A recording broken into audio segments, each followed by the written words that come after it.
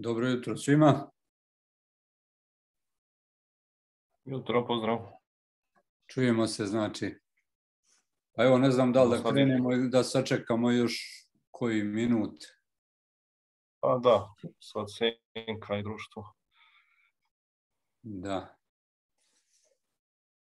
Ne znam, je li Mataru, Mataruga isto, vidio sam da je na projektu. Pa jeste, da, on je vodio onu grupu biodiverzitet. Aha.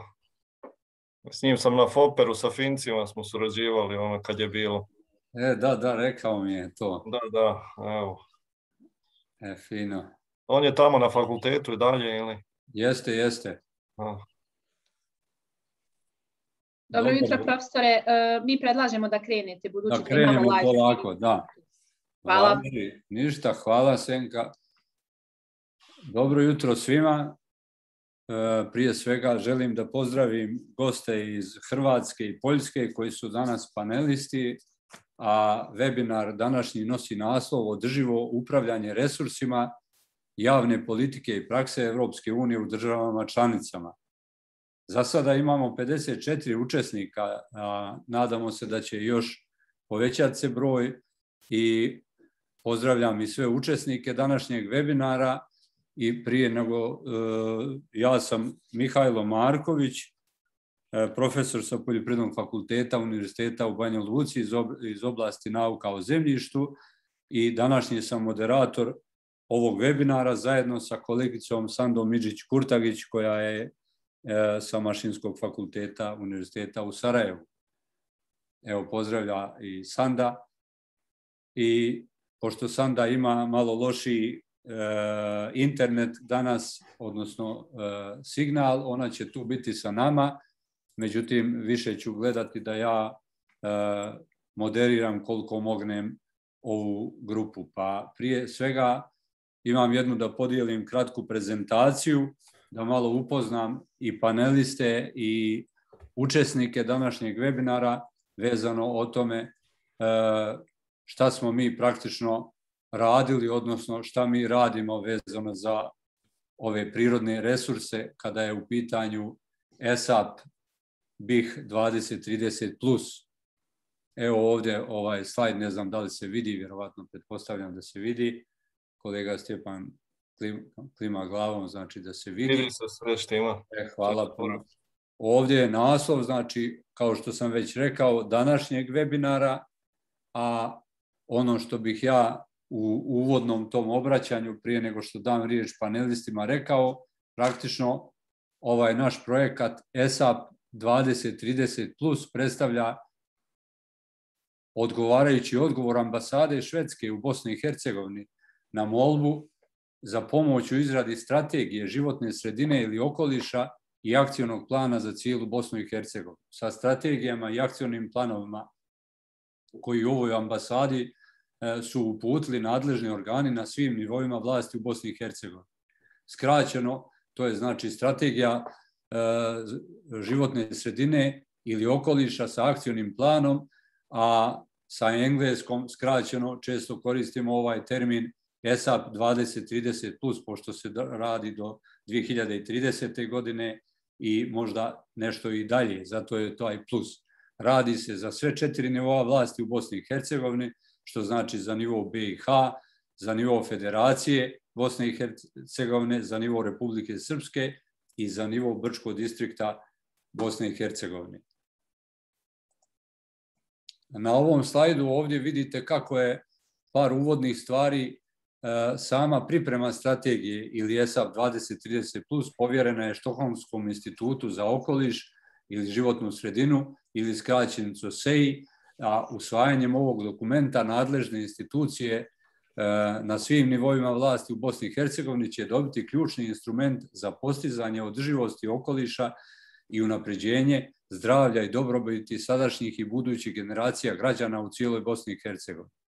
E, Projekat nakon e, prethodne pregovore oficijalno je počeo sa realizacijom još 2019. godine, a trebao bi biti završen u aprilu 2022. godine usvajanjem strategije od nadležnih insti- institucija svih nivoa vlasti, kako je već navedeno ranije, u Bosni i Hercegovini, znači na nivou BiH, dva entiteta i Brčko distrikta. Sama izrada strategije ESAP 2030 plus bazira se na takozvanom participativnom pristupu, a to u stvari predstavlja takav pristup u kojem svačije mišljenje se može ili treba uzeti u obzir svih zainteresovanih strana.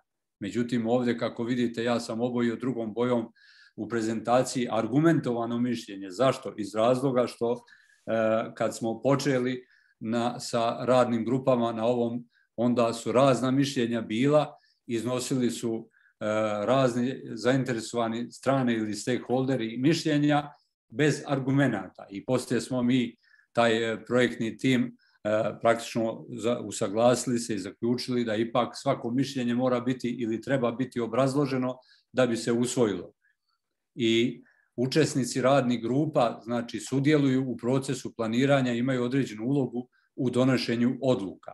Do sada su održane dvije sesije radnih grupa za sve nivoje vlasti, ovdje ima malo grešaka, izvinite, u kucanju, u BiH, znači kao što sam naveo, a krajem e, marta 2022. godine, znači ovog mjeseca, nastavljamo sa trećom sesijom i ukupno će biti do kraja izrade E, šest sesija negdje oko septembra, oktobra ove godine.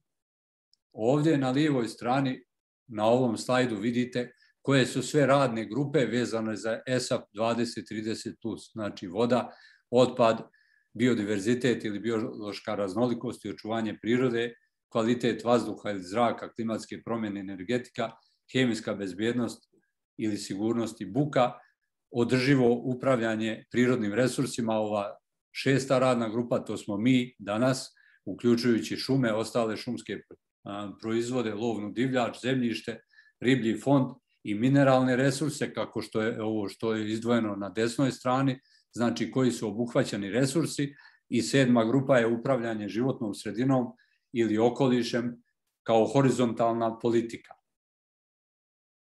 Do sada kako sam i napomenuo, su održane dvije sesije sastanaka radnih grupa, znači prva i druga za sve nivoje vlasti. Radne grupe su definisale ključne izazove za svaki prirodni resurs i za svaki nivo vlasti. E, kad su rađeni ranije webinari, ako je bilo manje, tako reći, tih tema ili tematskih oblasti koje su obrađivane, onda su kolege znale staviti na ove slajdove i izazove koji su do sada definisali, međutim kolegica Sanda i ja e, smo se usaglasili zbog, e, zbog toga što ima šest resursa u našoj e, radnoj grupi šest, da to ne opterećujemo niti paneliste, niti ove današnje učesnike, da znači to imate na drugom web sajtu koji ću kasnije spomenuti. Sada se trenutno radi akcioni plan strategije koji će biti izrađen i razrađivan u više sesija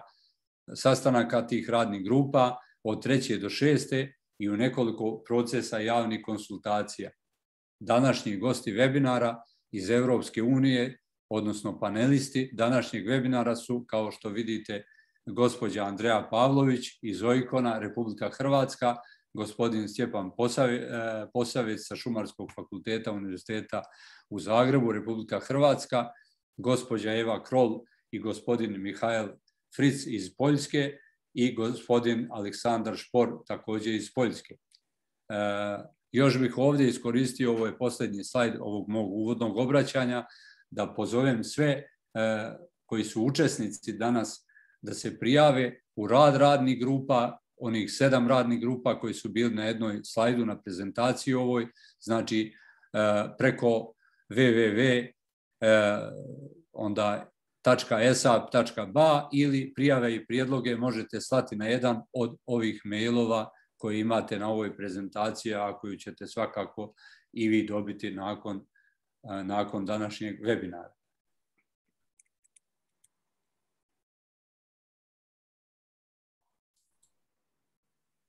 Time bih ja nešto samo da vidim šta se desilo ovdje.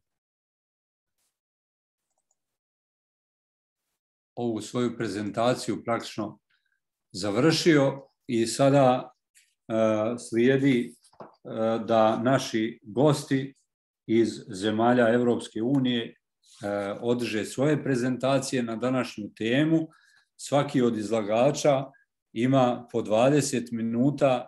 Vidjeli smo da neko ima i više slajdova od dvadesetak, ali bih molio da ne probijamo vrijeme, odnosno da ostavimo svi će dobiti prezentacije, svi učesnici današnjeg, tako reći, webinara i zbog toga bi paneliste molio da pokušaju da se uklope u tih 20 minuta prezentacija i da ovaj da praktično možemo ostaviti vrijeme za panel diskusiju, odnosno za pitanje i odgovora. još par tehničkih stvari za učesnike, evo već sad vidimo 89 učesnika, znači dole u donjem dijelu, uh, u donjem dijelu ovoga skrina, odnosno ekrana, vidite desno od raise hand ima jedna ikonica, odnosno dvije Q&A, znači questions and answers, i tu postavljate pitanja. Znači, za vrijeme dok panelisti još i drže svoju prezentaciju, vi možete e, kucati pitanja, tako reći u taj Q&A pitanja. Dobro bi bilo i da se praktično e, naglasi za koga od panelista je pitanje ili ako ne znate za koga, onda da bar vidimo u kojoj oblasti. Evo, toliko sad za sada što se tiče e, mog uvodnog obraćanja i sad bi dao riječ e, e, gospođi Andreji Pavlović. Ovdje ima kratko o biografiji. E, gospođa Andreja Pavlović praktično je voditeljica Odjela za zaštitu prirode e, i krajobraza u Ojkonu u Hrvatskoj gdje predvodi tim od 20 osoba. Ona više od 20 godina ima iskustva vezano za strateške komunikacije i javne poslove.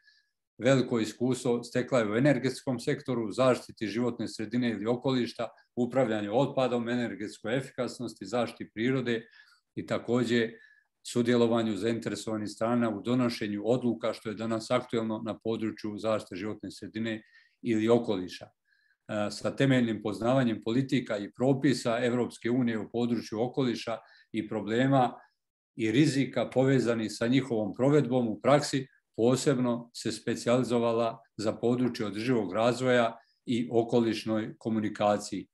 Evo pa, to je najkraće o kolegici Andreji Pavlović iz Ojkona i sad bi dao riječ kolegici Andreji da ona svoju prezentaciju u 20 minuta prezentuje svima nama. Izvolite, Andreja. Dobar dan svima, e, pozdravljam sve sudionike, e, koliko vidim sad je već 92 sudionika, evo Mihajlo, ukratko ste me predstavili na neki način vaš uvod i ono što je kolega Posavec napisao u svojoj prezentaciji potaknulo me da sa vama zapravo danas možda ne i u ovom, nego možda bi to trebalo i u svim radnim grupama apostrofirati kao važno. Nadam se da vidite prezentaciju. Vidimo, vidimo. U redu. Dakle, to je neko moje 20, skoro pa 20 godišnje iskustvo. Dakle, ja sam stručnjak za komunikacije prvenstveno. Međutim, slijedom mog prethodnog posla ja sam se razvojem različitih projekata, prvenstveno energetskih, ali i drugih u Hrvatskoj, specijalizirala za područje okolišne komunikacije i sudjelovanje javnosti u donošenju odluka koje se tiču okoliša, odnosno koje se tiču njihovih interesa u okolišu. Mihajlo, vi ste spomenuli argumentirano mišljenje, to je jako teško postići, moram odmah upozoriti. Isto tako kolega Posavec je izdvojio dva ključna momenta vezano za razvoj zaštite prirode, nedovoljno uključivanje dionika i top-down pristup koji je nešto čime sam se ja i tekako bavila i na javnim raspravama i savjetovanjem klijenata i sudjelovanjem u radu ministarstava i pisanjem različitih programa sudjelovanja javnosti, tako da mislim da možda mogu reći nešto na tu temu što će vas interesirati. Dakle, što se tiče same problematike šuma ili upravljanja šuma ili sudjelovanje javnosti u upravljanju šumama, evo ovako vam otprilike izgleda jedan isječak hrvatske stvarnosti. Dakle, ovo se odnosi na nešto što je neposredno meni, ono, doslovno gledam svaki dan. Andreja, izvinjavam se, ako možete samo bar kod mene nije zoomirati prezentaciju, dole imate desno onu ikonicu kao Aha, desno, pardon, još evo ga, sad ću, sad ću, uh, samo Još desno, sekundu.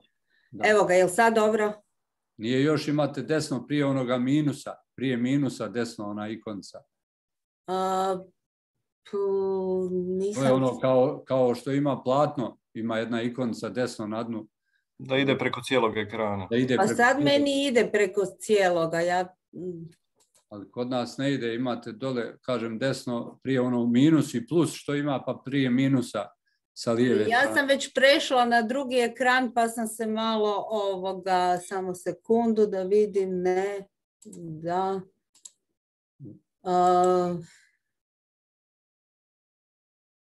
Samo sekundu. Ja se izvinjavam, gospođo Andreja, možda da izađete skroz iz ovoga vašeg e, A, šera. Da, evo pokušavam baš sad. A, Desno, dobro. E sad dole imate na dnu, Ići na, probajte otići na slide show opciju gore. Znači, Evo ga, ja sam na to bila i otišla, ali dobro, evo pokušat ću i sa ove strane. A, From beginning, evo ga, jel to sad bolje? E, Još se ništa... Hm, isto je. nije, nije, nismo. Evo, ja sam sad na slide show, zaista ne razumijem ovoga. A vratite ponovo nazad, a izvinjavamo se, gubimo malo vrijeme, ali bolje da vide ovi učesnici, jer ima 99 učesnika. De- dole desno, u desnom skroz uglu gdje, ona, gdje je onaj minus, Dobro. ne, ne, desno, skroz idite dole na dno. Kad se vratite, vratite se Da, ja sam, na- evo ga, stisnula sam slide show. e, to, Da, evo ga, jel Ona sad bi trebala da poveća do maksimalno ekran bar. Ne znam. Ja sam kliknula sad svaki put na slide show, jel sad malo bolje? Ajde, ništa. A, Ni- Evo ga. Nismo, nismo dobili uvećanje, ali nema veze. Ne znam, možda se i vidi, kažem. Dobivamo dva slajda. Dobivamo ovaj i sljedeći odmah, pa zato možda Aha, samo malo. Samo trenutak, evo pokazat ćemo sad bolje? gdje, gdje trebate Eto ga. isključiti. Sad je sad u redu, Sad je evo bolje, ga. sad je bolje. Dobro. Evo ga, dakle ovo je samo isječak hrvatske stvarnosti, kako to izgleda vezano za upravljanje šumama, ali mogla bi vam dati primjere iz gospodarenja otpada, iz razvijanja energetskih projekata, gdje zapravo javnost problematizira način upravljanja e, medvednicom. E, dakle, i vidite naslove i vidite kako to izgleda. E, nevladine udruge, u ovom riječ je Zeleni odred, koji je zapravo demonstrirao ispred gradske vijećnice i traži odgovore vezano za način na koji se upravlja medvednicom. E, Ovo je jedan od e, angažiranih medija u Hrvatskoj izuzetno utjecajan indeks koji može povući tu priču u javni prostor i senzibilizirati javnost na ovaj ili na onaj način. Hrvatske šume nešto demantiraju, e, koliko uspješno oni to rade moglo bi se razgovarati, ali uglavnom to je jedna od tipičnih situacija u Hrvatskoj vezano za interes javnosti za pojedina pitanja koja se tiču kvalitete života i načina upravljanja okolišem u Hrvatskoj. Ono što bih ja željela posebno naglasiti i što često govorim e, mnogim ljudima na kojima, na prezentacijama koje držim, dakle Einstein stari je rekao da jedan od velikih problema s kojim se susrećemo u praksi je zapravo to da pokušavamo riješiti probleme koje smo izazvali određenim načinom razmišljanja istim načinom razmišljanja. E pa loša je vijest, ali i dobra vijest zapravo da to u praksi ne funkcionira.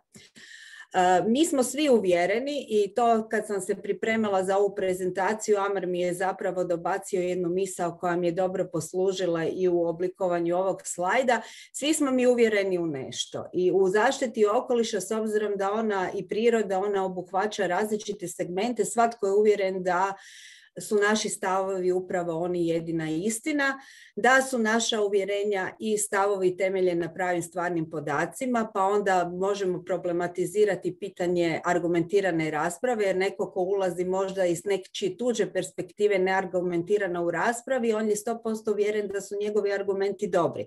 Tako da su to elementi o kojima treba voditi svakako računa i ono što je posebno važno, svi mi mislimo i uvjereni smo i ja sam se dugo vježbala dok nisam se malo odmaknula tog stava, da razumijemo cjelinu nekog problema, odnosno situacije. To zvuči dosta teoretski, ali u praksi to vam izgleda ovako. Dakle, ovo je jedan primjer koji se vrlo često koristi u menadžmentu, ali zapravo i upravljanje prirodom je na neka, neka vrsta menadžmenta. Znači, svatko od ovih šest e, naših slijepaca dodiruje slona, jedan dio slona i svako od njih je uvjeren da je upravo on misli da je to taj slon a nitko zapravo ili vrlo teško e, netko može sagledati da zapravo vidi samo jedan isičak problema ili stvarnosti uz ovaj moment koji sam dodala da mi vrlo teško percipiramo da smo vrlo često dio problema onoliko koliko smo i dio rješenja. A onda krene upiranje prstom u druge, onda se okrivljuje nisu oni napravili, nisu ovi napravili, to je vrlo česta i uobičajena retorika u zaštiti okoliša. Dakle, ono što je e, rečeno i što ja, s čime se ja duboko slažem je zapravo da svima nama, a mi smo svi sustav, nedostaje zajedničko promišljanje svih uključenih aktera u ime dugoročnih zajedničkih interesa. Ono što se bitno promijenilo u odnosu kad je Hrvatska ulazila u Europsku uniju 2013. godine mi smo postali članica, a što čega tada još uvijek nije bilo, a to je um, ciljevi održivog razvoja. Dakle, ciljevi održivog razvoja su i nešto što je naravno potpisale su sve države uh, svijeta. Uh, 2015. godine na skupštini su usvojeni, uh, sve, te, sve članice države su usvojile i Bosna i Hercegovina, naravno i Hrvatska i donijele su 17 ciljeva održivog razvoja koje po mojem dubokom uvjerenju omogućavaju sagledavanje cjeline. To je prepoznala i Europska unija i to je moment e, da su zapravo sve politike, strategije, programski dokumenti e, se nadovezuju ne samo na ciljeve održivog razvoja, već i na Pariški sporazum. I sve što se radi i kako se radi i kako se promišlja, jer ovo je projekt 2030+, plus, zapravo je sa tom jednom perspektivom, a šta ćemo mi postići do 2030. godine, hoćemo li mi postići sve ove ciljeve, a ono što je jako bitno ovdje nije riječ samo o 17 ciljeva održivog razvoja, već i 169 podciljeva, u okviru svakog cilja nalazi se neki određeni broj podciljeva, plus 232 pokazatelja kojima se mjeri napredak u postizanju što podciljeva, što ciljeva. Zašto je to važno? Zašto je to povezano razmišljanje danas užasno važno. O njemu mi nismo u Hrvatskoj razgovarali tada, a vi možete naučiti od nas i možemo naučiti kroz potok vremena sve ono što se u međuvremenu dogodilo, a to je da intervencijama u jednom cilju ili u jednom podcilju mi zapravo utječemo i na omogućavanje postizanja drugih ciljeva jednako kao što onemogućujemo njihovo postizanje. Dakle, traži se jedno povezano razmišljanje i traži se jednostavno uvažavanje cjeline, odnosno sagledavanje cjeline. E sad, ono što ja uvijek govorim e, na mnogim svojim prezentacijama, ja se ispričavam samo malo, ja sam otišla malo naprijed, je da najvažniji trendovi su, jako su velika rastuća očekivanja. Dakle, svi smo na Google, ljudi se informiraju na Google, smatraju da su e, pristupom Google i određenim studijama i određenim načinima razmišljanja e, postigli stručnost i zato vrlo često nedostaje ono što se zove argumentirana rasprava. Dakle, sve se više očekuje da javnost može i traži se da javnost može aktivno sudjelovati, utjecati na odluke koje se tiču zaštite okoliša i njihovih neposrednih interesa i očekuju se isto tako novi standardi prakse.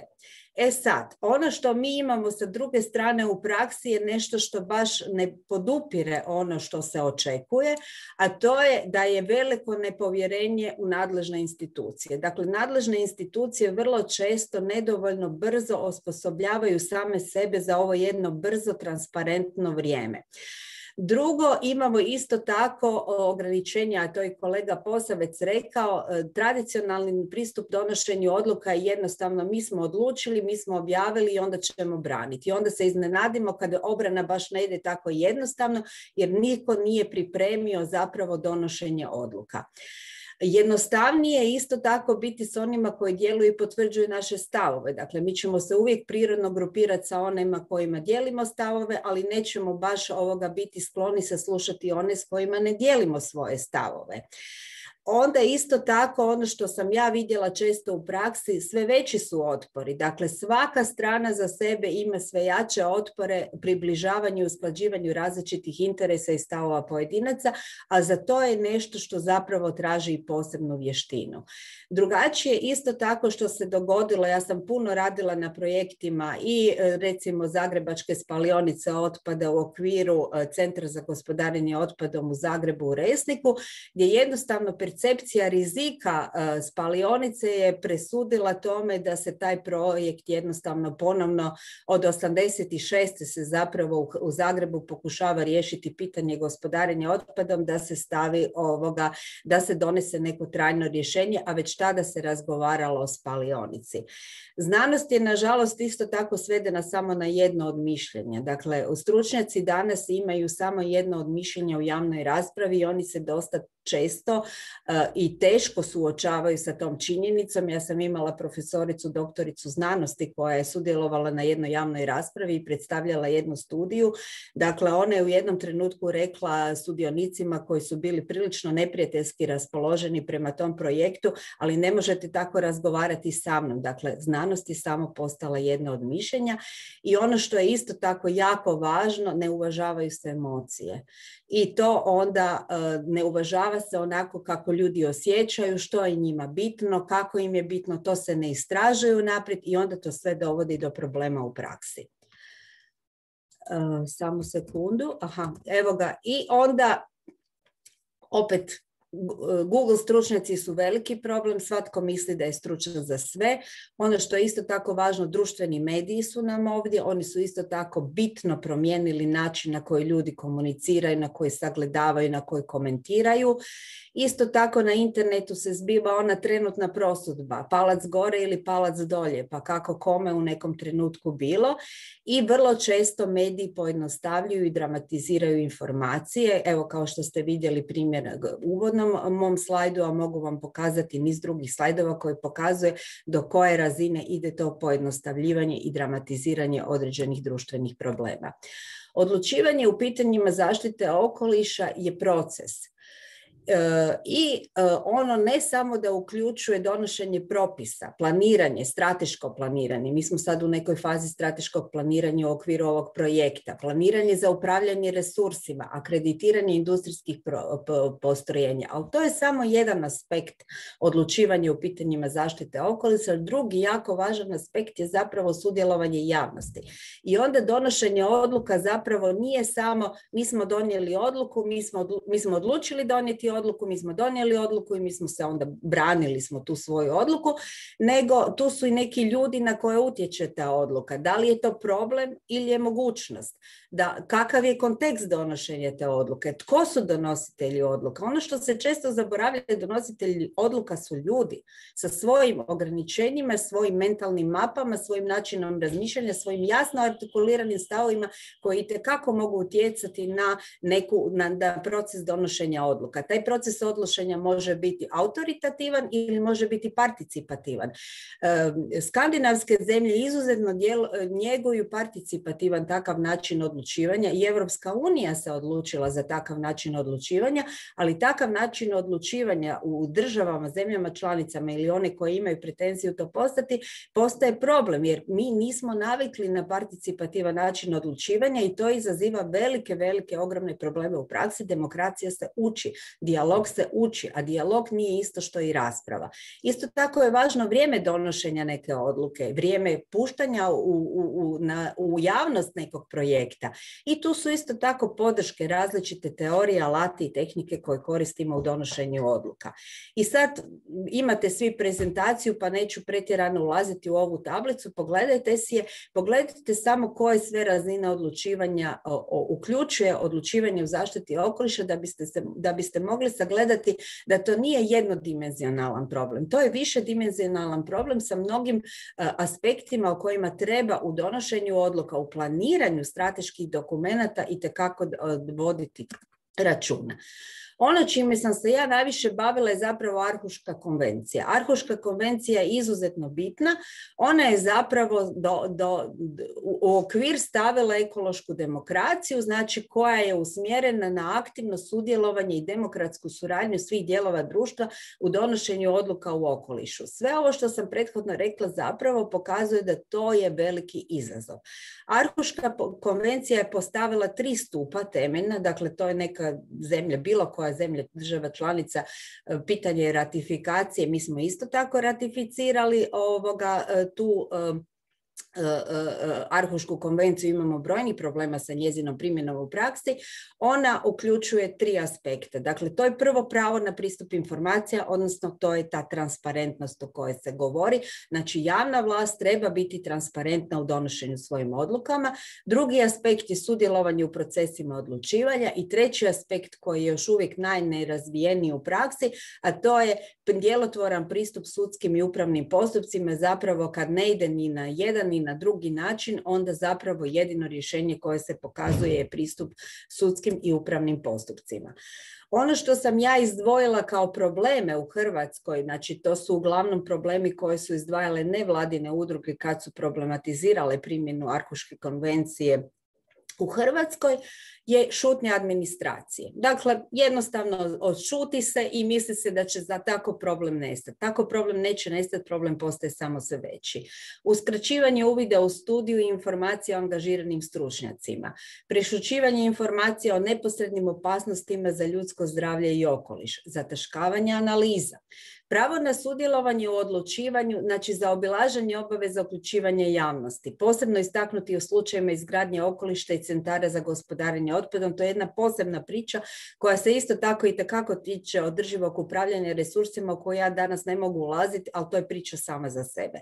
Skraćivanje rokova sudjelovanja javnosti u izradi zakona i provedbenih propisa od minimalnog. Znači, zakonom o zaštiti okoliša u Hrvatskoj taj rok propisa na 30 dana.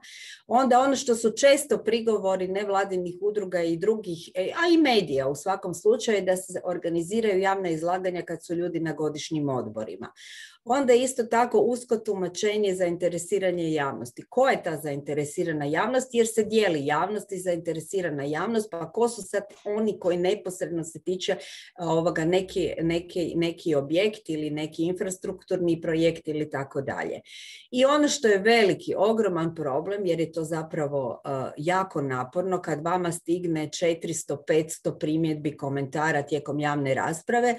U gradu Zagrebu na plan gospodarenja od otpadom, ja sam radila na tome, mi smo imali 400 ili 500 strana odgovora, jer sam s obzirom da sam već bila angažirana, onda sam inzistirala na tome da se na svaki primjedbu, komentar ili mišljenje ovoga odgovori ili da, da se kaže za, jel se uvažilo, jel se djelomično uvažilo i ako se nije uvažilo, zašto se nije uvažilo, jer je to isto jako važno reći ljudima zašto se njihov komentar ili prijedlog nije uvažio. I pravo i pristup pravosuđu, e, to je rak rana ne samo u Hrvatskoj nego i u drugim zemljama. Znači ti su postupci dugi i skupi i rijetke su presude koje izričito spominju odredbe Arhuške konvencije iako postoje određeni napredak u praksi. E sad, ono što bi ja zagovaram kao nekakav stratežan pristup, e, strateški pristup je zapravo, taj strateški pristup je nešto što se zbiva između dva ekstrema, između snažnog učinka, između slabog učinka. Dakle, u snažnom učinku razmišljamo o problemima kao savladivima, a u slabom učinku kao nesavladivima. Jednostavno ne možemo riješiti, neki problem postane toliko kompliciran da koliko god da se trudimo i neki problemi u Hrvatskoj se vuku godinama, zaista godinama. Politika ako ima jasne ciljeve, onda će ona imati snažan učinak. Ako će imati nejasne, naravno taj učinak će biti slabi. Ako su zakoni odgovarajući, opet isto, snažan učinak. Ako su ne odgovarajući jer nije samo pitanje aproksimacije, prijenosa zakonodavstva, puno više je pitanja kapaciteta, a to, bilo je jako puno edukacija na tu temu u Hrvatskoj, u kojoj su mjeri tijela nadležne institucije zapravo sposobne apsorbirati primjenu propisa u praksi. To je puno veći izazov nego, pre, e, mislim, iako je izazov i prenošenje ili, aproksima, ili i aproksimacija, iz jednostavnog razloga zato što treba vidjeti, naravno, neke stvari se moraju direktno prenijeti, neke se moraju, mogu prilagoditi. E tu gdje su prilagodbe treba znati razmišljati. I ko su pro, ako su provoditelji aktivni, naravno da će biti snažan učinak, a ako su a, pasivni ili ako čekaju da se problemi same riječi, onda će se problemi sami nagomilavati i dalje. Koji su isto tako zamke tog strateškog pristupa, ono što sam ja sagledala u praksi. Usmjerenost na masovne medije i jednosmjernu komunikaciju. Dakle, mnogi misle da će kroz medije sve riješiti. Tako e, će se obratiti medijima, e, dati intervju, e, zakupiti neki medijski prostor, misli će se da će se riješiti problemi. Neće, sigurno neće. I isto tako ono što mnoge griješe javne i nadležne institucije, da produkcija brošura, letaka i ostalih materijala dovoljna za okolišne probleme, rješavanje nije. Strateški pristup isto tako mora voditi računa o tome da je podjela informativnih materijala može povećati znanje, ali ona ne mora nužno rezultirati bilo kakvim promjenama u ponašanju.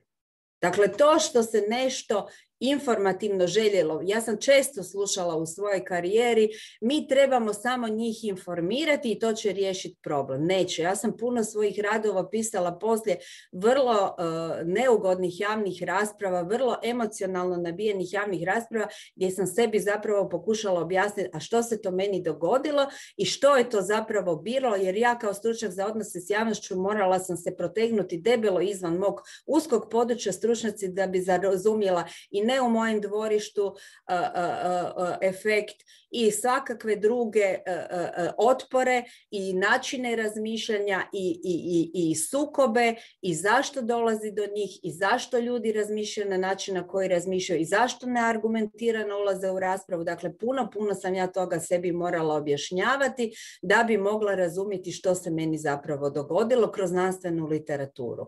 Dakle, ono što želim svakako poručiti, znanje nije motiv za promjenu ponašanja. Znanje neće promijeniti ničije ponašanje, ali manjak znanja sigurno je prepreka u promjeni ponašanja i tu se zapravo postoji jedno posebno područje gdje, o kojem treba voditi računa. Ono na što bih htjela isto tako ovoga, uh, upozoriti je da jedna od zabluda da smo mi racionalna bića. Mi nismo lišeni ni konteksta, ni emocija i proces odlučivanja odvija se posve drugačije od zamišljenog teoretskog modela. Isto tako ono što se često vidi u praksi da donositelji odluka traže ovoga dovoljno dobar pristup, oni vrlo često ne vole izaći iz prostora ugode i onda zapravo ne traže najbolji mogući pristup koji bi tražio izlazak iz prostora ugode. U odlučivanju nisu uvijek poznate sve alternative i uvijek im se ne daje jednaka težina i važnost i ne uzimaju se u obzir što je posebno važno sve posljedice. Stavovi ljudi rezultat su višegodišnjih racionalnih i objektivnih analiza. Nije, stavovi ljudi su rezultat prije svega višegodišnjeg obraćanja pažnje na informacije koje potvrđuju njihova uvjerenja. Ljudi selektivno traže informacije koje će potvrditi njihova uvjerenja, a ne koja će ih razuvjeriti. U pitanjima zaštite okoliša to je nešto o čemu i kako treba voditi računa. Važno je što ljudi misle, ali ne i kako misle. To je još jedna zabluda. Do zabluda ne dolazi javnost zato što javnost ima manjak informacija, to sam već rekla. Rješenje im najčešće nije ponuditi više informacija nego mora biti nešto još. Dakle, to je taj jedan fenomen koji je poznat kao model manjka informacija važno je razumjeti, znači kad mi pripremamo ili kad su, pripremamo sudjelovanje javnosti, važno je dobro razumjeti kako ljudi misle, a ne Izvinjavam samo što Andreja, ljudi izvinjavam, Andreja, izvinjavam se što vas prekidam, ali samo Gotova sam. još malo pa da završite, Je. pa da ostavimo prostor za pitanja Je. i e, ono što je, želim zaključiti da je svaka komunikacija dobra komunikacija. Nije. I to je nešto o čemu isto tako treba voditi računa i to je zapravo moj zadnji slajd. E, Evo, komunikacija o okolišnim pitanjima mora biti usmjerena na zajedničku viziju održive budućnosti, izgradnju kapaciteta različitih grupa za rješavanje i sprječavanje okolišnih problema, a ne na širenje informacija i kratkotrajno obogaćivanje znanja. Evo, to je nekako e, zadnja misao koju bih voljela podijeliti sa sudionicima jer mislim da je važna. Hvala. Želim da se zahvalim kolegici Andreji Pavlović na ovom izlaganju. Ukazala nam je svima na neke probleme sa kojima se Hrvatska susretala e, i susreće i sad i na izazove i naročito na važnije činjenice kad je u pitanju odlučivanje. Znači odlučivanje koje u konačnici treba da poboljša neke stvari kad je u pitanju su upravljanje prirodnim resursima, i vezano za javne politike i prakse. E, opet, e, samo da kratko napomenem, učesnicima sad već ima 115 učesnika da koriste za pitanja onu tamo tako reći ikonicu desno e, u donjem desnom uglu prije BHS, prije prevođenja, gdje ima Q&A, Q&A. Znači, to je za pitanja i ako mogu baš da naslove pitanje kome, na primjer Andreji, Stjepanu ili kolegama. Hvala Andreja, pa evo sad se vi malo odmorite, sad bi predložio da kolega Stjepan Posavec prezentuje svoju prezentaciju, prije svega e, nekoliko riječi o gospodinu e, Stjepanu. E, on se bavi naučnim aktivnostima i problematikom iz ekonomike šumarstva, odnosno metoda i modela utvrđivanja vrijednosti šuma, marketinga u šumarstvu, istraživanje spešnosti poslovne analize u šumarstvu te unapređenju poslovanja u šumarske tvrtke. Godine 2001. odbranio je magistarski rad na temu vrednovanje metoda za procjenu vrijednosti šume 2004. na ekonomskom fakultetu sveučilišta u Zagrebu takođe odbranio drugi magistarski rad pod naslovom svaka čast specijalnosti poslovne analize u gospodarenju obnovljivim prirodnim resursom, odnosno šumom, a disertaciju pod naslovom e, dinamički modeli utvrđivanja vrijednosti šuma odbranio je 2005. godine i time stekao akademski stupanj doktora nauka ili znanosti u području biotehničkih nauka, kako smo rekli, e, ima veliko iskustvo vezano za upravljanje šumom i zemljištem šumskim i usklađivanja sa propisima EU, pa molim kolegu Stjepana Posavca da nam on prezentuje svoju Može, prezentaciju. Može, hvala puno na uvodu. Ovoga, e, evo ja ću sad podijeliti ekran. Ovaj, da to sve dobro, uh, vidite sve u redu. Čujemo se i vidite sve, jel? Čujemo, čujemo sve u redu. Super. Uh, dobro, evo, vrijeme nam je limitirano, pa ja sad neću puno uh, pričati o svim slajdovima. Uh, samo za uvodni dio, jeli, uh, kad smo pričali o životopisu u međuvremenu, velim, postao sam i redoviti profesor, a bavim se temama iz ekonomike okoliša i ekoturizma, jer te predmete predajem na fakultetu. Imamo smjer urbano šumarstvo, a, što se tiče iskustva, velim, od 94. sam radio ekspertoru vanjsku trgovinu, nakon toga Ministarstvo poljoprivrede je vezano za projekte Svjetske banke, obnova i zaštita obalnih šuma, nakon toga u Hrvatskim šumama i onda došao na faks kad sam već ispekao malo zanat u praksi, tako da uh, imam nekako uh, sliku kako to uh, izgleda ne samo sa katedre nego i u praksi. Potrebno gospodarenje ili sustainable development of forestry u Hrvatskoj, jel? to je tema današnja. Kako sam bio sudionik raznih aktivnosti tijekom godina i vezano za privatne šume, što je još za vrijeme projekta koje je e, Europski šumarski institut EFI iz financirao zajedno sa e, ljudima iz Blokova i tu regionalni projekt FOPER, Forest Policy e, Economics, jeli, gdje je napravljen nakon toga i master program. Sudjelovao sam, velim, i u ovim dijelovima nature, uvođenju i problematici i panelima. U sklopu toga smo imali Cost Capable projekt isto regionalni. U samim FSC principima, evo neki rad smo pisali i EUTR sam bio u radnoj skupini Ministarstva poljoprivrede koja se bavila ovom problematikom, pa evo neke moje viđenje ideja te problematike. Ono što sam zapravo htio reći da priča o potrebnom gospodarenju i nekom uređivanju šuma i gospodarenju šumama još iz 18. stoljeća, li naravno tad je Beč ovoga, planirao i naši suređivači to dalje implementirali. Zadnja inventura je bila 2010. godine u sklopu Ministarstva poljoprivrede i zajedno sa Šumarskim fakultetom kolege sa uređivanja su ovaj, dosta tih i radova iz te problematike napisali. Dakle, velim, ta ideja potrajnosti i održivo gospodarenje je ono godinama se kao slijedi. Ono što je kolegica malo pre pokazala, velim, loše vijesti prodaju novine, jeli, a nažalost ovoga, zabijanje glave u pjesak da se nešto ne događa, da se nije dogodilo, a bez komunikacije sa javnošću gubi onda snagu rješenja. Što se tiče samostalnosti ili Hrvatske, dakle od 1991. je počelo javno poduzeće koje je na početku bilo Hrvatske šume. 90. je već donesen zakon o šumama gdje je propisano gospodarenje, a onda su nakon toga Hrvatske šume postale društvo sa ograničenom odgovornošću, što znači da šuma i šumsko zemljište više nisu u njihovom vlasništvu. Dakle, u bilanci se ne prikazuju kao njihovo vlasništvo, nego oni samo gospodare i tu sad postoji prostor onda i za druge tvrtke koje su se e, kasnije otvorile.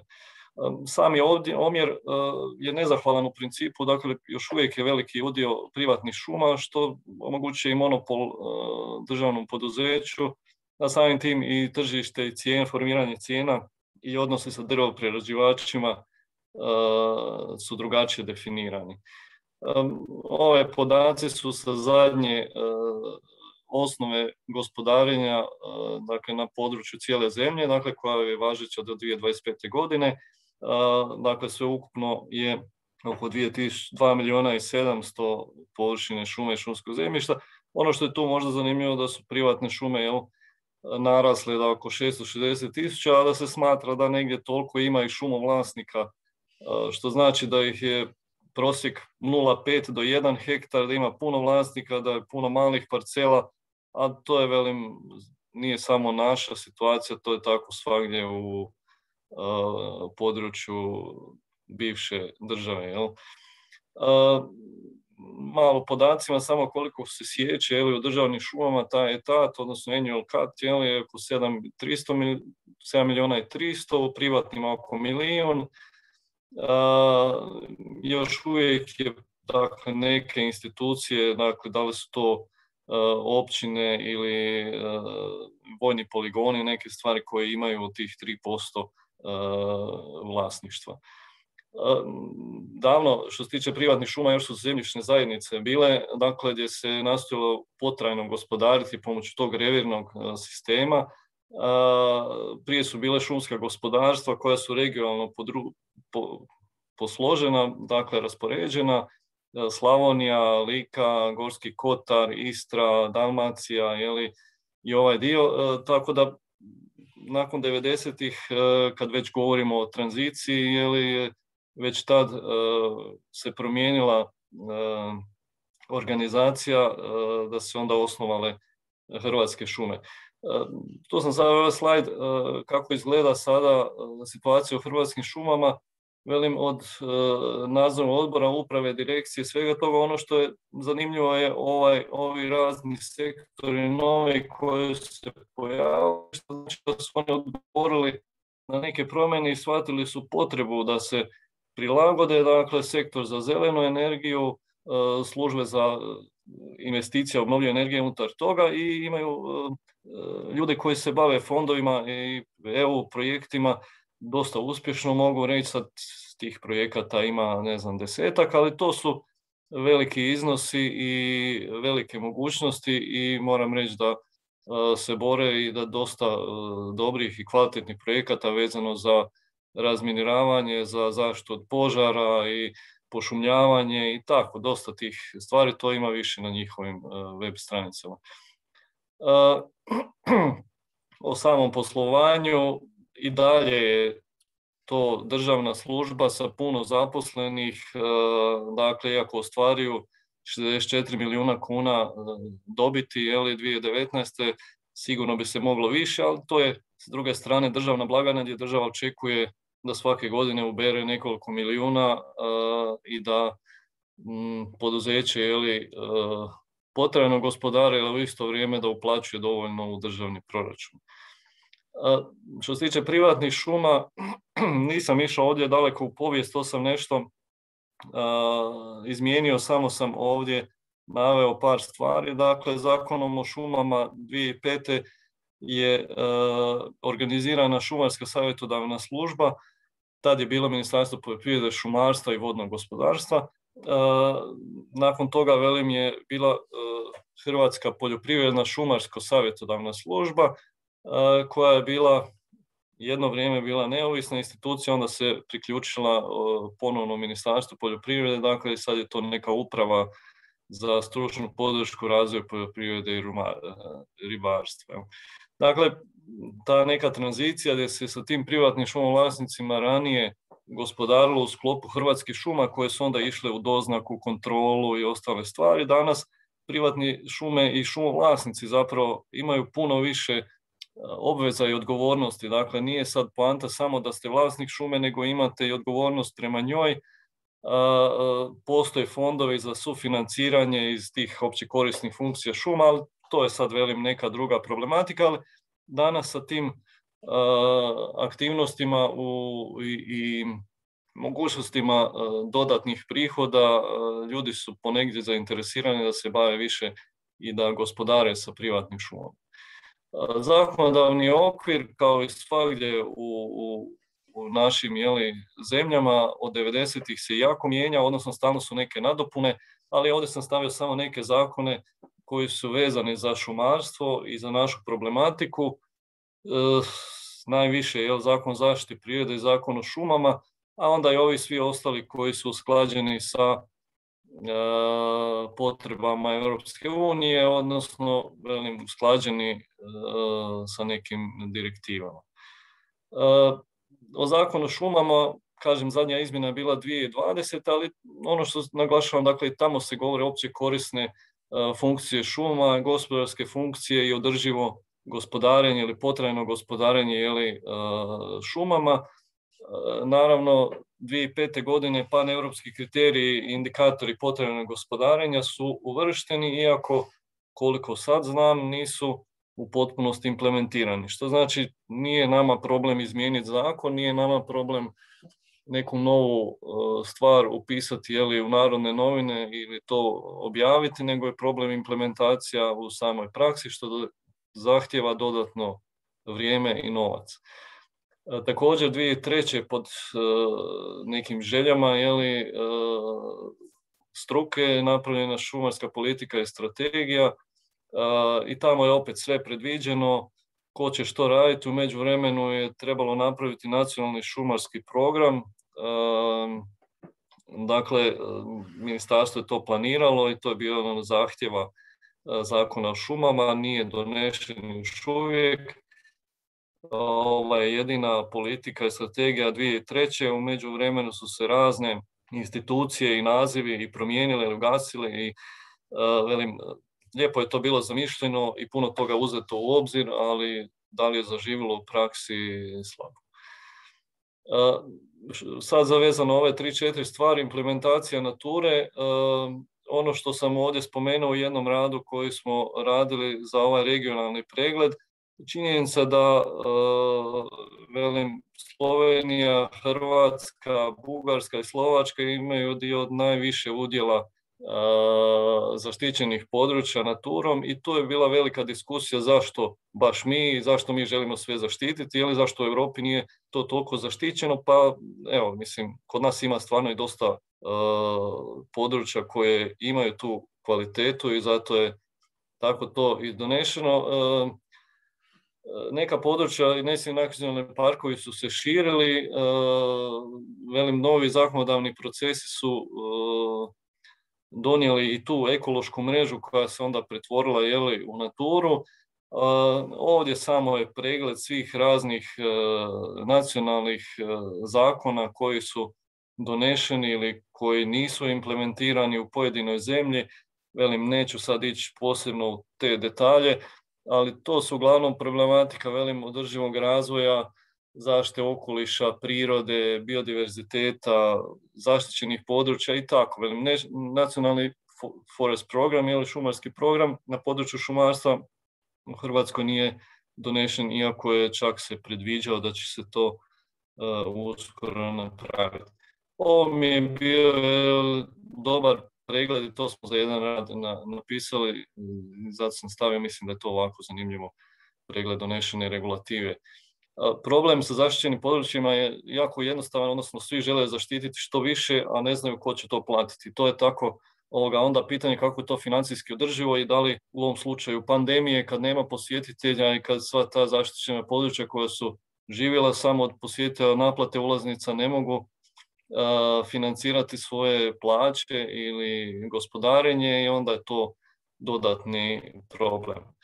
Dakle, opet priča top-down pristup, politika nešto želi, želi napraviti određeni postotak zaštite ili želi to progurati, a u praksi razni onda zainteresirane grupe osjećaju se ugrožene ili nisu uključeni, ne znaju uopće o čemu se radi i onda imate probleme u primjeni.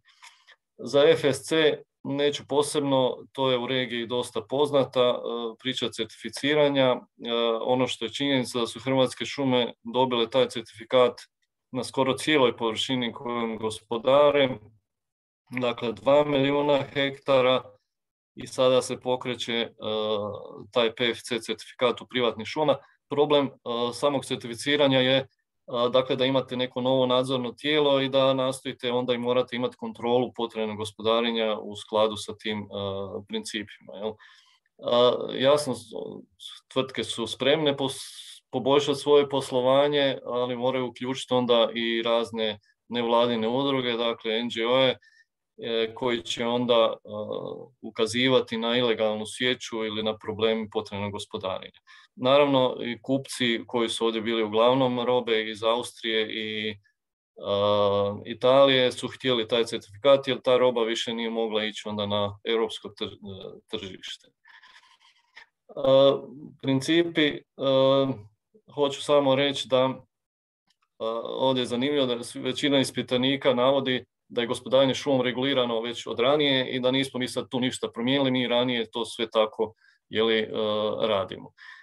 FSC i potrajnost, e, tu su neki detalji koje regulira taj certifikat, dakle od zdravlja, sigurnosti i sve ono što je propisano, dakle sudjelovanje interesnih e, skupina, odlaganje otpada i e, zaštita jeli, vrijednosti šuma.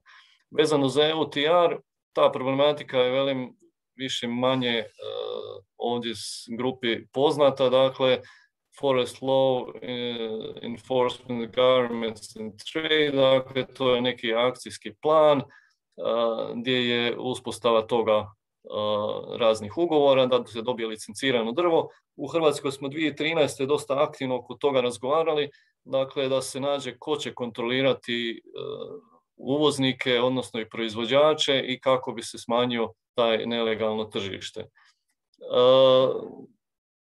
prilagodba ostalih stvari, dakle ono što sam rekao, zakonodavni okvir, vezano je za najviše problem sa okolišom, dakle i nacionalni program koji utvrđuje uvjete provođenja elemenata politike.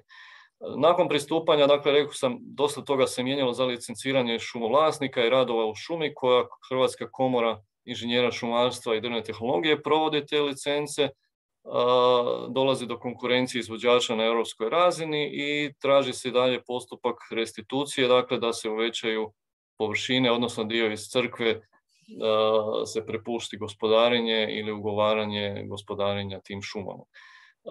Najviše je zapravo bilo diskusije vezano za naturu, dakle vezano za primjenu ovih direktiva o staništima i o pticama i kako uklopiti jeli, šumsko-gospodarske planove u planove upravljanja natura područjima.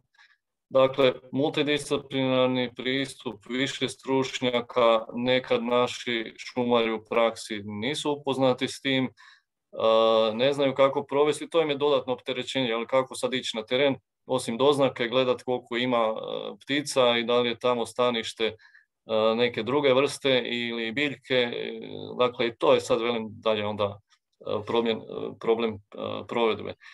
Ovdje dakle opet moraju biti uključeni za EUTR, inspektorat, carina i MUP.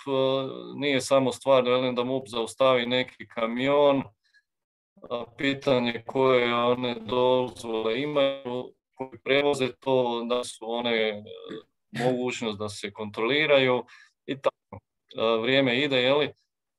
Nova strategija Europske unije, dakle od 2013. je, planiraju se razne te strategije 2015 dakle kako, na, kako primijeniti kriterije održivog upravljanja, Green Deal 2019. godine, problematika bioekonomije, kod nas Ministarstvo poljoprivrede utvrđuje strateške ciljeve sektora i to sad dosta sporo ide, ali to je stalno usklađivanje ili politike i onoga što nam potpisnici ili Brisel uh, dogovara, dakle i potpisnici Pariškog sporazuma i zelenog plana Europske unije.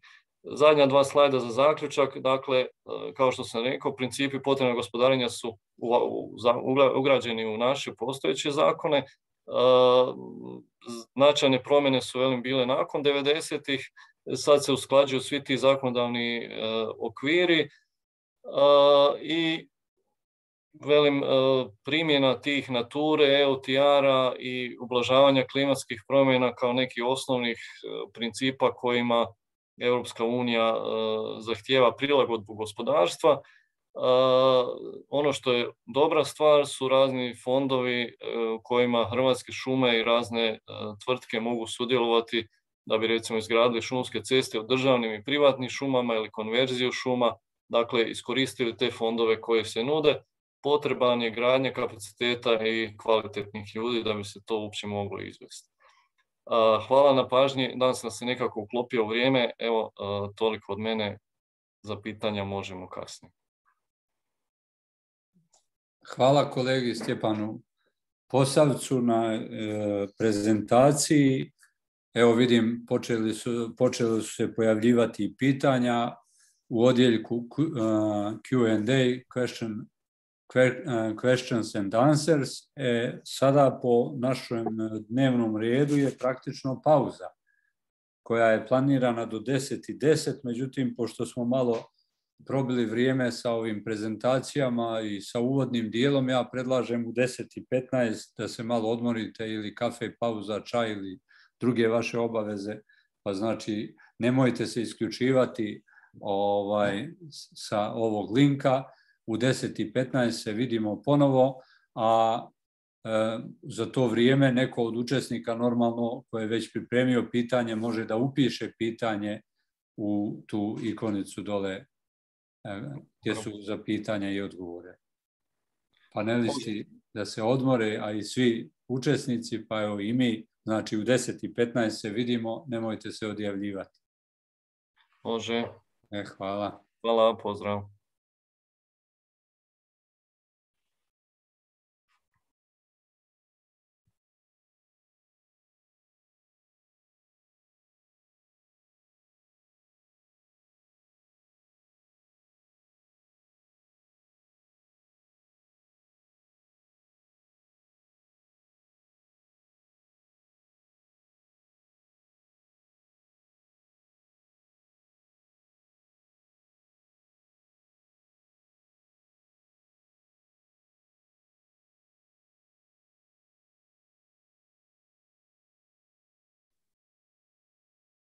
Hi, my name is Alexander Spar. I just want to check in and make sure I you can hear me.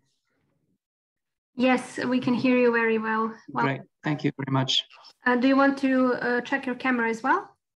Yes, I switched in. I see myself. You can't uh, see me, right? Uh, just let me check, please. Yes, I can see you now. Oh, great. Thank you very much. Okay. Everything works. Thank you. Thank you.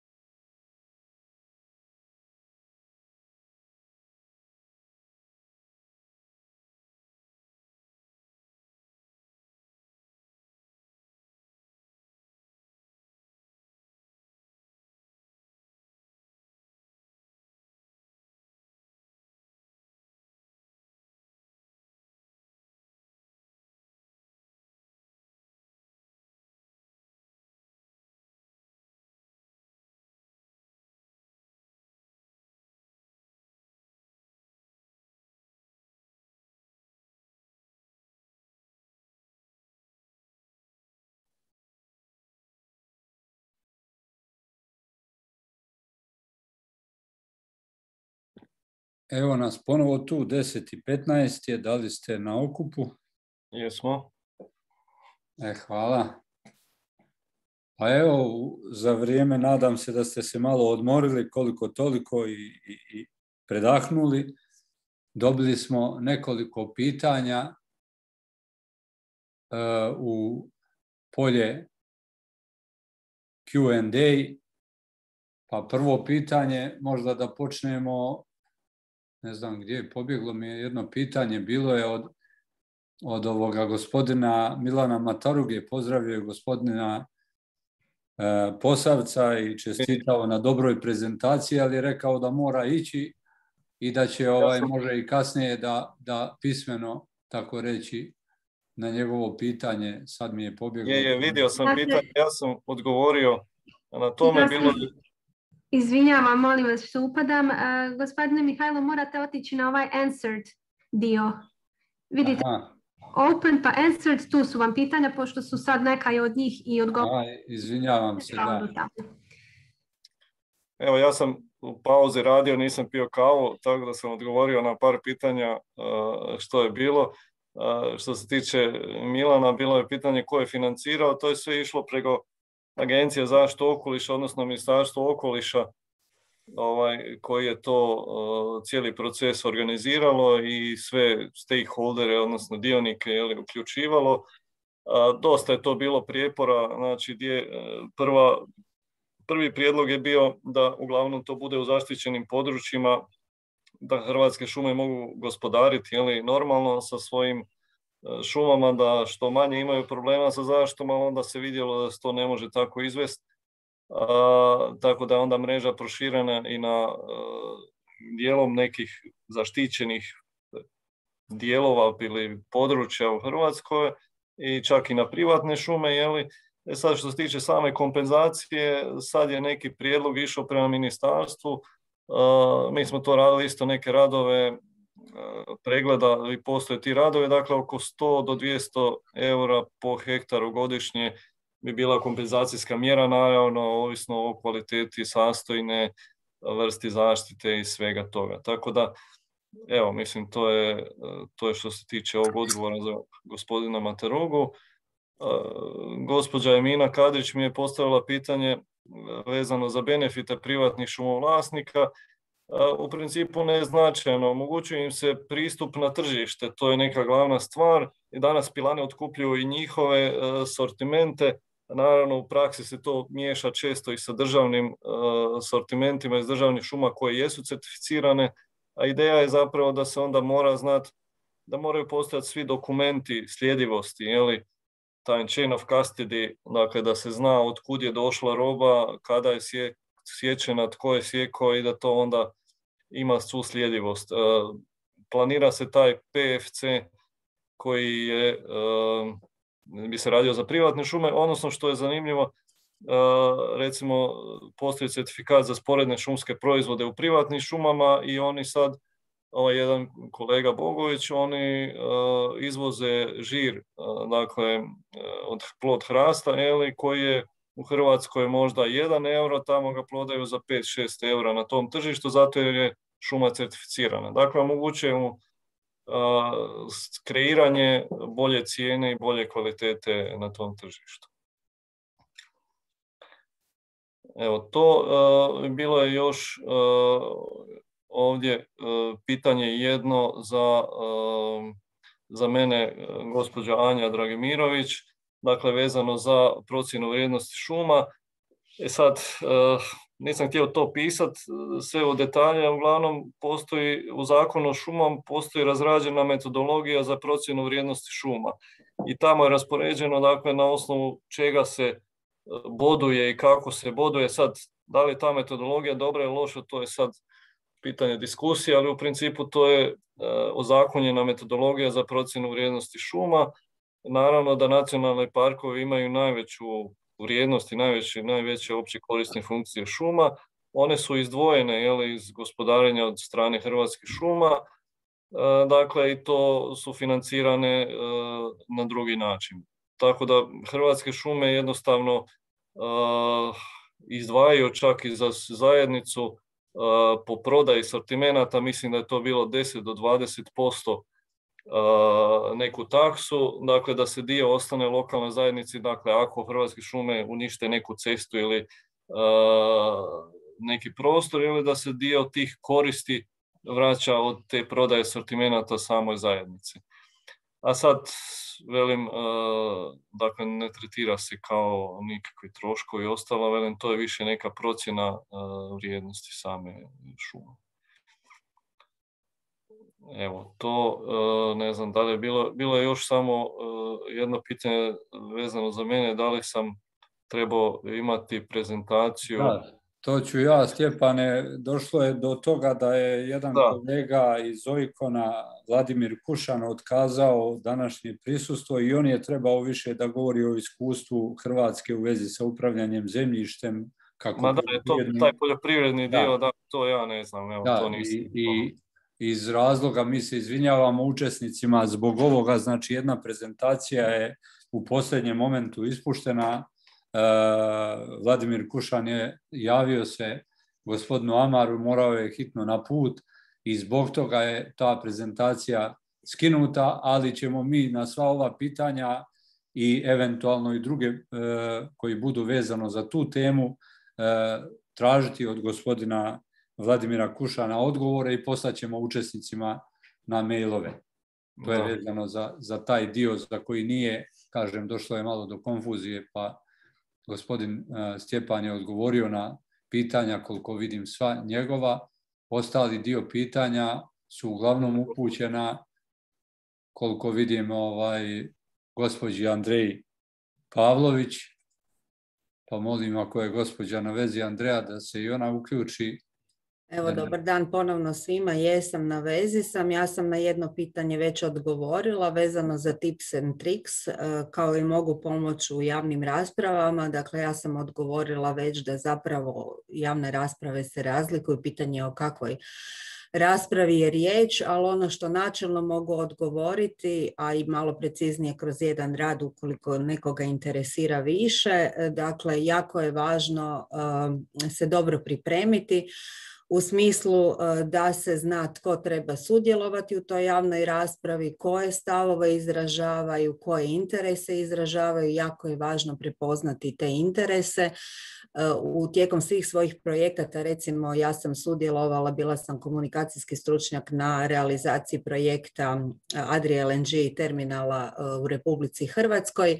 Dakle, ono što je bila početna analiza je zapravo bila analiza svih aktera koji su važni za izgradnju tog LNG terminala. On na kraju nije izgrađen jer su se investitori um, iz Njemačke i Francuske i Austrije povukli, ali eto sad imamo LNG brod u Hrvatskoj.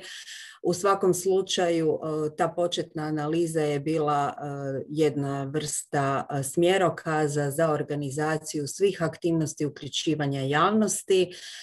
Ona je dobro bila napravljena iz jednostavnog razloga što nam je omogućila jednu ne samo usmjerenost, što je jako važno u komunikacijama, nego i fleksibilnost koja je isto tako jako potrebna jer vi u nekom početnom trenutku ne možete sve predvidjeti, ali možete sebe unaprijed pripremiti da zapravo kako se razvija situacija, tako se i vi prilagođavate u skladu sa situacijom, sa impulsima javnosti, sa procjenama da li će neka nevladina udruga reagirati na ovaj ili onaj način, to je isto tako jako važno imati nekako unaprijed posloženo u glavi. Ako su u pitanju javne rasprave, ono što se meni pokazalo kao dobro pravilo u praksi, ja sam uvijek postavljala unaprijed javna, jasno postavljena pravila kojih smo se onda tijekom svih javnih rasprava držali i koja su zapravo omogućila da ljudi steknu povjerenje da je taj proces nepristran, da je uvažavajući prema svim sudionicima, neovisno o tome kakvi su njihovi stavovi argumentirani ili neargumentirani, tako da je to jedan od putokaza. Za nešto malo više, ono na što želim svakako uputiti, nije dovoljna samo Arhuška konvencija. Europska unija je otišla i korak dalje i pripremila je smjernice iz Maastrichta koje govore zapravo o uključivanju javnosti, kako uključiti javnost. Ja sam te smjernice obradila u jednom svom svom radu, pa ako nekoga više interesira, sa zadovoljstvom ću mu poslati sa taj moj rad. E, pitao još pitanje koje se odnosilo na mene je Jamar postavio, e, Čaušević, moj kolega. Mi smo se bili upoznali Zagrebu vezano za klimatske promjene. On me je postavio pitanje kako je upravljanje resursima evoluiralo u Hrvatskoj nakon pristupa Europskoj uniji. Ja ne mogu govoriti točno o šumama ili o tlu e, i moram se ispričati zbog mog, kolege vlade, profesora Vlade Kušana. On će odgovoriti na sva pitanja. Jednostavno došlo je do jedne zabune sa datumima. Ja se ispričavam i u njegovo ime što danas ne sudjeluje ovdje, ali vrlo rado ćemo odgovoriti na sva pitanja. Koliko se situacija popravila? Pa teško je zapravo reći je li se popravila. Ja se mogu rukovoditi jednim primjerom koji je meni svjež, ali koji zapravo možda i oslikava stanje u svim drugim sektorima, to je gospodarenje otpadom. Dakle, mi smo 2004. godine donijeli jednu strategiju, to su nam radili strani savjetnici, koji su zapravo u tom dokumentu napisali da je gospodarenje otpadom problem, ali za kojeg se smatra da ga treba riješiti neko drugi. Dakle, trenutna situacija sa gospodarenjem otpadom u Hrvatskoj nakon pristupanja Europskoj uniji je takva da zapravo mi dalje na neki način idemo istim kolosijekom, da je to problem kojeg treba riješiti neko drugi. Mi smo do kraja 2021. godine trebali imati, prvo je bila u funkciji, ne znam, neki skoro pa 20 centara za gospodarenje otpadom, pa se taj broj e, kroz godine smanjivao na nekih 11, ali već sam iznijela primjer Zagrebačkog centra za gospodarenje otpadom, dakle od 86. se rješava na neki način sustavno rješava problematiku, problem gospodarenja otpadom u gradu Zagrebu, mi još uvijek ni dan danas nemamo rješenje. Općenito ono što se vidi u praksi je zapravo da se jako puno upire prstom u druge, jako je puno uvjerenja da je stav nečiji ispravan, a sama aproksimacija strategije i politike, vjerujte mi, puno ne znače ukoliko se ne provode u praksi. I to ja mislim da je najveći problem jer nije dovoljno samo aproksimirati, potrebno je i kulturno prožimati se sa drugačijim praksama, sa participativnim načinima odlučivanja, sa e, tehnikama rješavanja problema. To su sve stvari koje se zapravo mogu naučiti u praksi. Ja sam ih isto tako učila i svakodnevno ih primjenjujem i dalje jer jednostavno e, komunikacijski problemi su problemi nesporazuma, ali su isto tako i trajni problemi ukoliko onemogućavaju donošenje rješenja.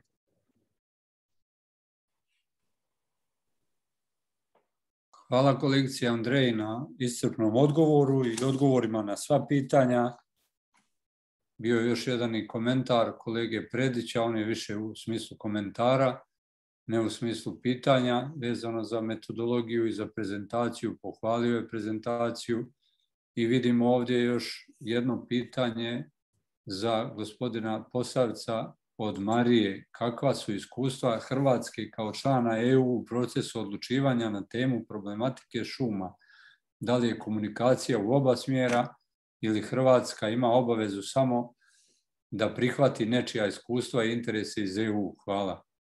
Pa, da, evo, hvala na pitanju. E, znači, sve naše probleme provodi ili usklađivanje Ministarstvo poljoprivrede. Ministarstvo ima svoju službu koja onda preko predstavnika jeli, Hrvatske u Europskoj komisiji i parlamentu može komunicirati i formalizirati. E sad, ako znate da je glavno pitanje, glavna problematika Ministarstva poljoprivrede upravo subvencije u poljoprivredi i općenito poljoprivreda, dakle proizvodnja hrane, Dakle, šumarstvo tu ima ono, rekao bi, 10 ili 20% utjecaja, dakle nije to sad nešto strateški bitno ni u Europi, a kamoli u Hrvatskoj. Iako gospodarimo sa velim, više od 2 milijuna hektara i puno, 43% Hrvatske je pokriveno šumom i šumskim zemljištima.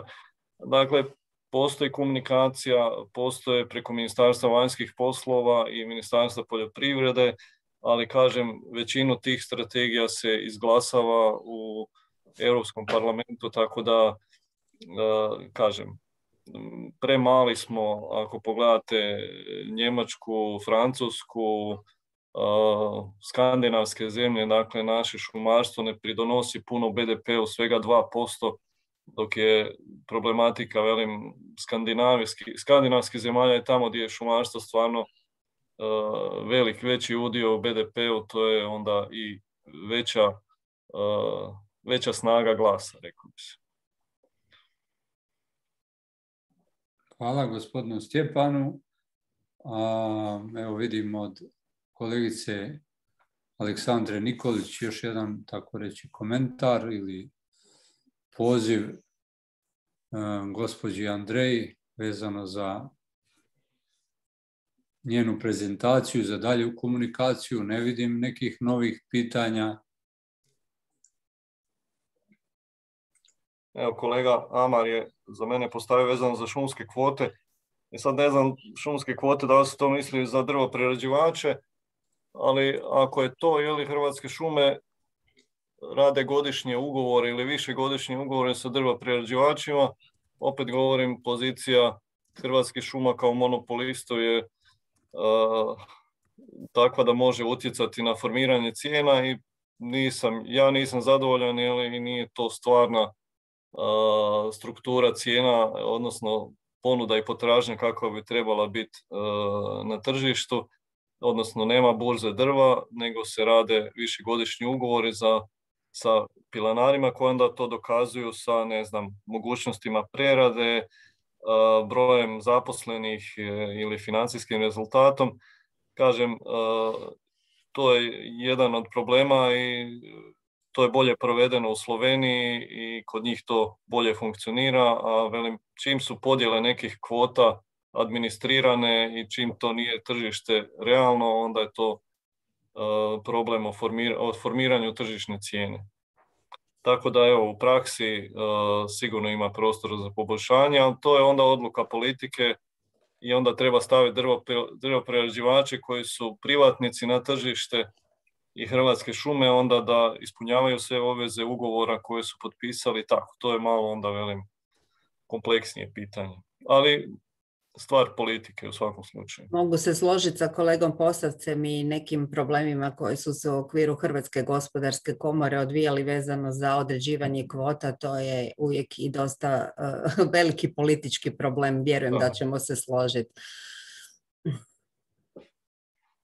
Čim imate politiku, onda nemate tržište i to je onda neka druga stvar. Znači, onda vam je najlakše prepilat trupac, napraviti dasku, izvesti u Italiju i onda svi lijepo kupimo na tuci kuhinju, kak se već zove, jeli, po 10.000 eura i zapravo kupujemo svoje, svoje drvo. Da, bilo je dosta prigovora određenih proizvođača vezano za određivanje kvote i tako dalje.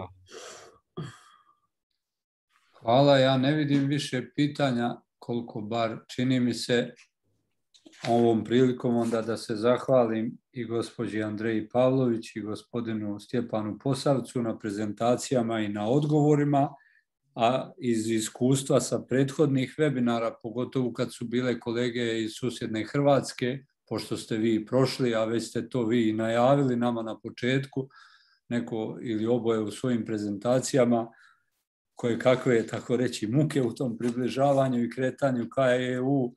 E, ostali panelisti, kažem, u drugim webinarima su rekli da su tu dostupni za nas, odnosno da su nam na vezi ukoliko bude trebalo i šta drugo da im se obratimo naknadno i jer ne može se danas sve reći na jednom webinaru koji ne traje tako dugo, tako da se nadam da i vas dvoje ste saglasni da budemo na vezi i da ovaj vezano za sve drugo što bi eventualno bilo i u smislu pitanja i u smislu neke druge pomoći. Evo, stiglo je još jedno pitanje za Andreju. Zašto imate probleme sa regionalnim centrom upravljanja otpadom u Zagrebu? Enida Mališević.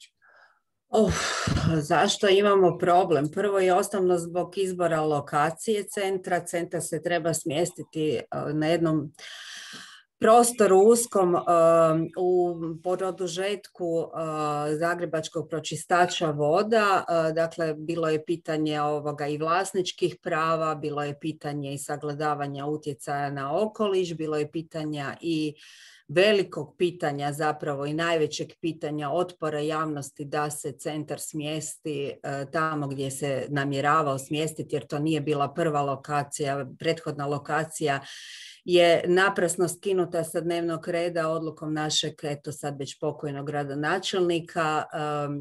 Vjerujem da je bilo jako puno traženja jako puno različitih ideja kako bi to trebalo izgledati, zapravo koja bi se i tehnologija trebala koristiti. Ja sam sudjelovala u raspravama vezano za plan gospodarenja otpadom koji je predvidio zapravo spalionicu.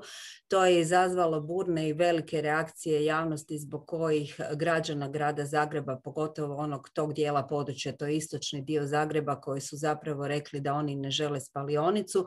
To je ona stigmatizacija tehnologije koju sam ja spominjala jer zapravo po svim ovim novim modernim standardima to nije tehnologija, problematiziralo se pitanje ispuštanja dioksina i furana, problematiziralo se pitanje, iako bi to u smislu nekakvog održivog dugoročnog pristupa gospodarenja resursima bilo dobra dobar pristup iz jednostavnog razloga zašto, zbog, zašto uz pročistač voda. Zato što od pročistavanja, pročišćavanja voda ostaje zapravo mulj koji u ovom trenutku nezbrinut leži na prostoru zagrebačkog pročistača voda. To je 500 tisuća tona mulja koji ima i teške metale u sebi i koji ne možete baš samo tako zbrinuti. Međutim, eto, javnost je na neki način, nije samo javno zapravo, nego i, i, i stalno to rekla bih, podilaženje impulsu javnosti, e, zapravo nespremnost da se neke stvari presjeku i da se donesu neke odluke. Znači nije dovoljno samo uvažavati različita razmišljanja, potrebno je i presjecati u nekim trenucima. U nekim trenucima jednostavno na temelju raspoloživih informacija vi morate donijeti odluku. A zašto postoji ta nespremnost donošenju odluka, to je jedan dosta veliki problem koji se vuče godinama i zato je to upravljanje resursima toliko teško. Jer mi možemo piknuti, moj kolega je radio vezano istraživanje, odnosno magisteri vezano za upravljanje vodama, znači koje god područje zapravo vi uzmete, vi, vi ćete nažalost naići na neki problem. I Zagreb je, evo i dan danas, onda ovaj drugi prijedlog 2018. godine išao se na Centar za gospodarenje otpadom sa um, ovim MBO-om i ni to nije bilo dobro. Onda vam se na jedanput na javnoj raspravi od jednog žarišta, to je bio Resnik, otvorila još dva nova žarišta, novo žarište u Brezovici zato što se htjela izgraditi kompostana. Jako je važan tajming, to nisam napomenula, nemam ja dovoljno vremena sve ispričati, ali izbori u Hrvatskoj, bilo lokalni, bilo nacionalni, izuzetno utječu na e, sva pitanja koja se tiču zaštite okoliša ili energetike. Dakle, to su kao dvije spojene posude koje zapravo iznimno utječu na to hoće li se neki projekt ubiti, realizirati, e, odgoditi ili kako god već bilo. Hvala kolegice Andreja. Evo još jedno pitanje je stiglo za gospodina Stjepana. Da li je i na koji način Hrvatska destimulisala izvoz trupaca i rezane građe u cilju zaštite domaće proizvodnje? Mislim da je to za Stjepana, ali možete oboje koje bliži, pošto su trupci u pitanju. Ma, destimulirala samo tako, znači da se ograničava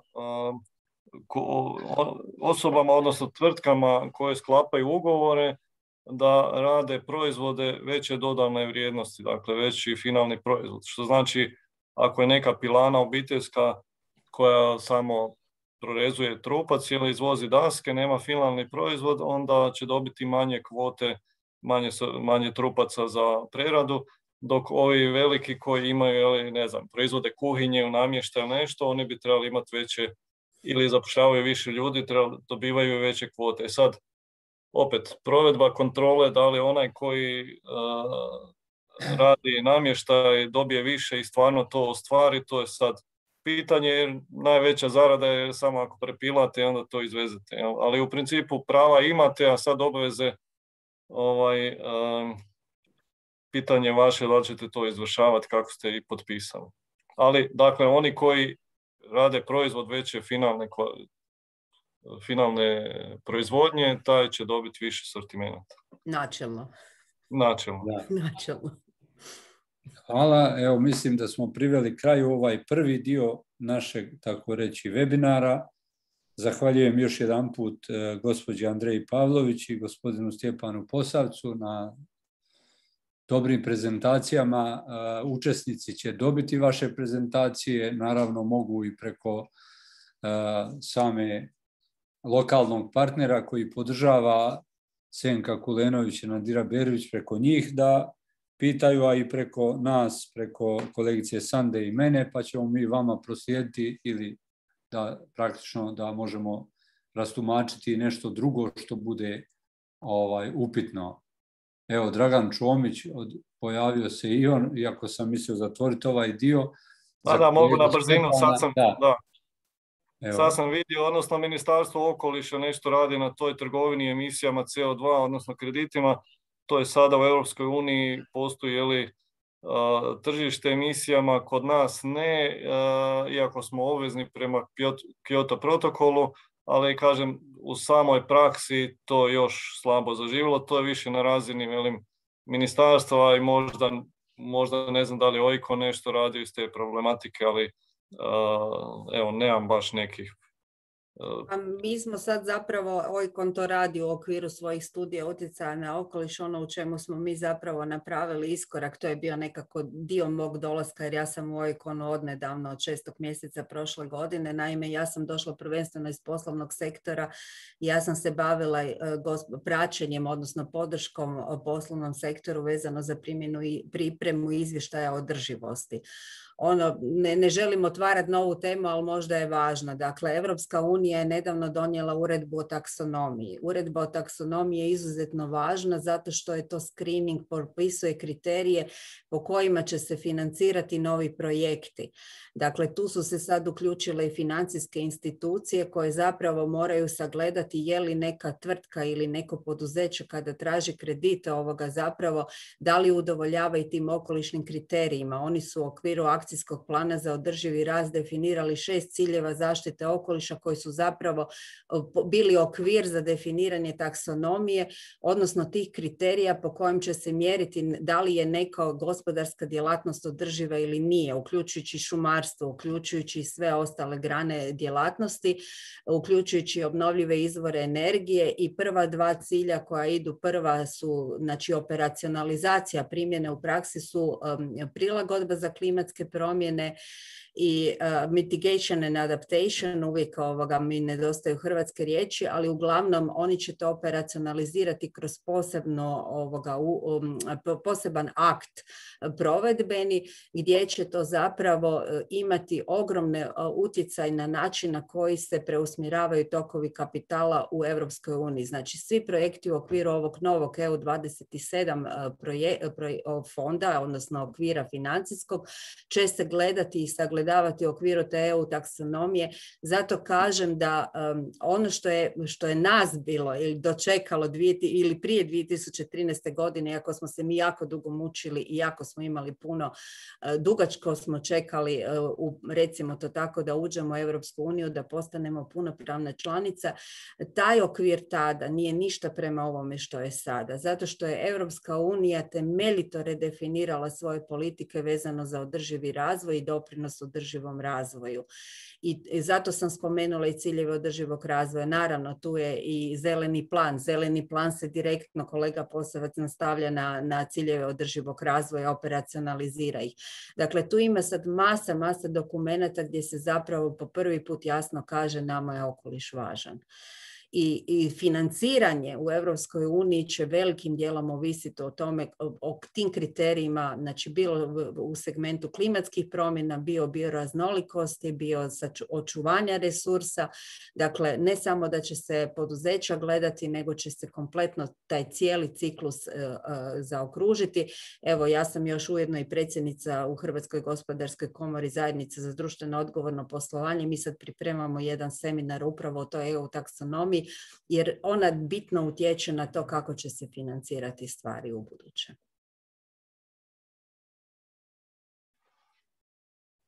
Hvala vama dvoma. Ja mislim da smo evo sad iscrpili. Čomić je postavio pitanje, Dragan, i mislim da smo iscrpili ovaj vaš dio. Ako možete, ostanite sa nama i dalje. sad prelazimo na onaj drugi dio.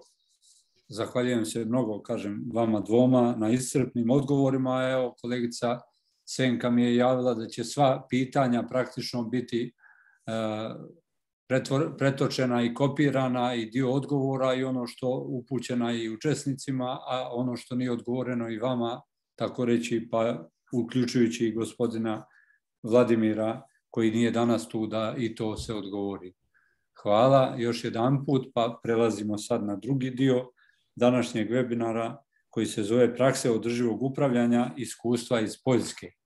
I sada praktično pozivam kolege iz Poljske. Pozdrav. E, pozdrav, pozdrav, za kolegicu Andreju Pavlović i Stjepana Posavca. Ja imam neki drugi webinar u 12, pa ću morat onda... Ja imam webinar o mungosima, pa ću morati e, isto. Pa ja se moram ispričati. Ali, ali ćemo biti na vezi. Hvala, doviđenja, živjeli. Prelazimo na ovaj drugi dio sad današnjeg webinara, kako sam najavio, prakse održivog upravljanja, iskustva iz Poljske. I ovdje imamo dva, dvije prezentacije. Praktično ovaj, prva je transformacija sektora uglja u Poljskoj. Aleksandar Špor je vođa tima za klimu i energiju u Poljskom institutu za ekonomiju. Ima više od 15 godina iskustva u javnoj upravi Poljske i u think tank organizacijama, autori i koautori publikacija na temu klime i energetske tranzicije sa posebnim težištem na oblastima energetski miks, vađenje uglja i energetsko siromaštvo, diplomirao je političke nauke na univerzitetu kardinal Stefan Visinski, kako li se čita, već u Evropskom koleđu Natolin u Varšavi, pa evo, molim kolegu Aleksandra da praktično on svoju prezentaciju sa nama podijeli, odnosno Senka dijeli, a Aleksandar se uključuje. Da li nas čuje gospodin Aleksandar? Yes, uh, I can hear you. Can you hear da, da, čujem vas. Čujete li vi mene? Čujemo, čujemo, u redu je. U redu. Um, Great, so uh, go to, to my... Odlično, onda ću preći na moju prezentaciju. Najprije se želim zahvaliti što ste me pozvali. Veliko je zadovoljstvo učestvovati u ovom veoma zanimljivom projektu. Kako sam uspio čuti iz ovog prvog dijela webinara, mene su zamolili da kažem nešto o transformaciji sektora rudarstva u Poljskoj i utjecaju Evropske unije na tu transformaciju, da, dakle evolucija sektora rudarstva. Kako bih to uradio, molim vas sljedeći slajd, e, spomenut ću tri e, tačke koje sam pripremio. Prvo da dokažemo da je Poljska zaista ima pravo da govori o o uglju i energiji zasnovanoj na uglju. Imaću nekoliko slajdova o tome. Zatim ću se kratko dotaknuti uticaja eksploatacije uglja i s druge strane relevantnih propisa koji su važeći za ovaj sektor i koji se tiču uticaja sektora uglja, a na kraju treća tačka je da ću vam tri primjera e, različitih načina na koji se odvijaju različiti projekti ili su se odvijali pod uticajem Evropske unije. Tri projekta se od, e, sva tri projekta se naravno odnose na sektor uglja. E, Prijeću ću sada na naredni slajd. Kao što vidite, proizvodnja struje je uglavnom zasnovana na uglju, na korištenju uglja. u periodu 2008. do 2010. E, smo imali e, početak e, određene diferencijacije sa uvođenjem biogasa, gasa, vjetroparkova, tako da imamo izvjesni nivo različitosti, iako je e, većinom e, proizvodnja energije zasnovana na uglju. Ako govorimo o primarnoj energiji, više od pola je dakle zasnovano na proizvodnji uglja, na uglju. Kao što vidite ovdje, obilježili smo sedam regija od ukupno 16 u Koljskoj gdje se vadi ugalj ili lignit. E, dvije ključne regije su Šlaskija, e, koja je poznata u Europi kao e, regija sa najvećim, najvećom eksploatacijom uglja i tu se odvija najveći dio proizvodnje. A drugo je Tutski regija, u, ovdje se uglavnom proizvodi lignit. Ako pređemo na sljedeći slajd, vidjet ćete kakav je utjecaj eksploatacije antracita i lignita. Glavni utjecaj je zagađenje zraka, zagađenje vode i emisije stakleničkih gasova. Što se tiče drugih utjecaja, oni su sve više primjetni s obzirom na razvoj civilnog društva. Vidimo da postoje i da važnu ulogu igraju i drugi utjecaji u sektori ugla, znači utjecaj na lokalne zajednice u regiji.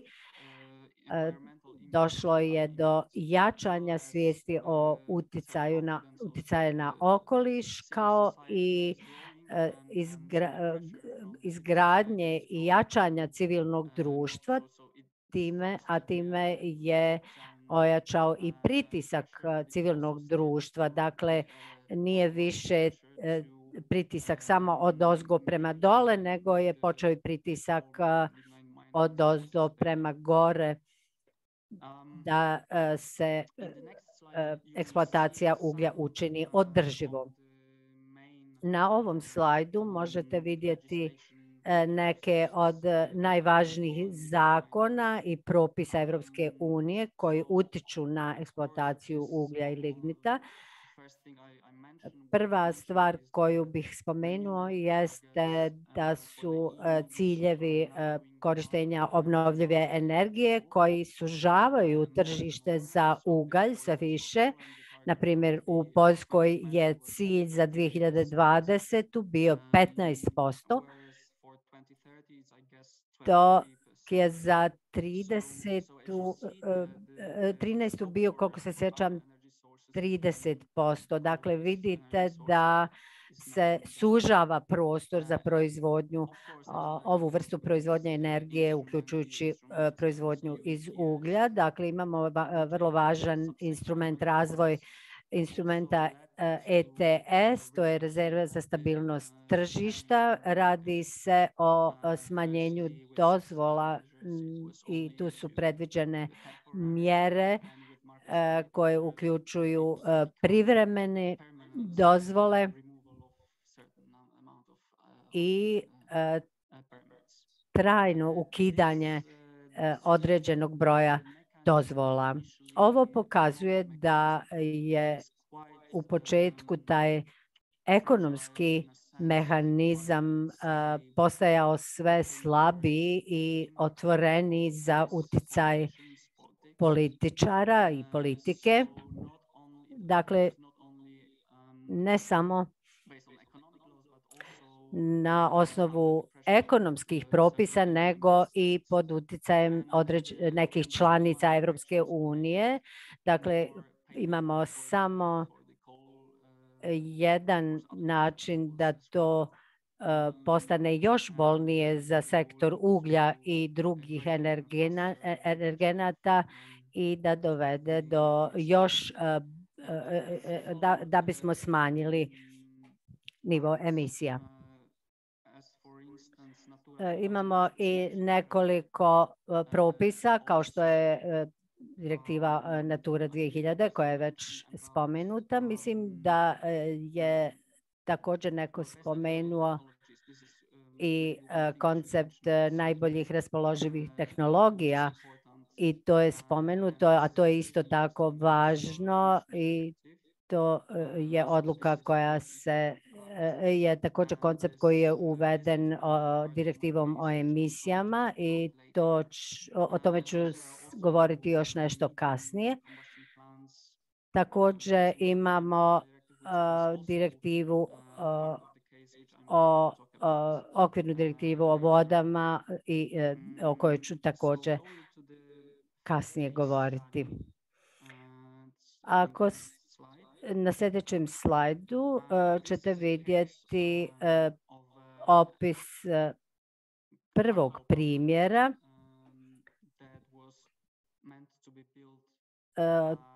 Radi se o bloku termoelektrana.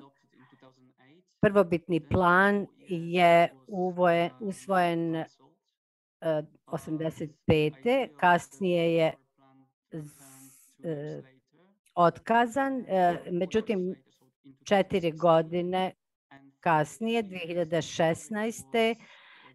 je ponovo ta ideja došla na razmatranje i uključujući i početak radova na osnovu onoga što nazivamo aktivizam dioničara, naročito kad je riječ o financijskim podacima preduzeća, a to je osigurala jedna od organizacija Think Tanks.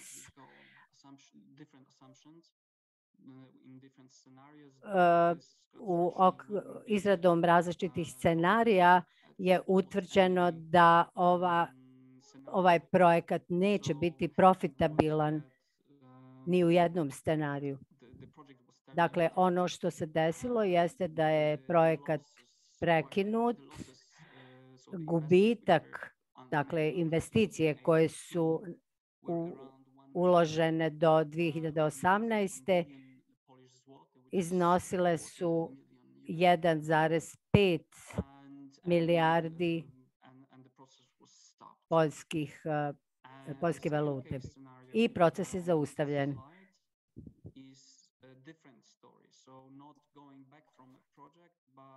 Na sljedećem slajdu imamo drugu priču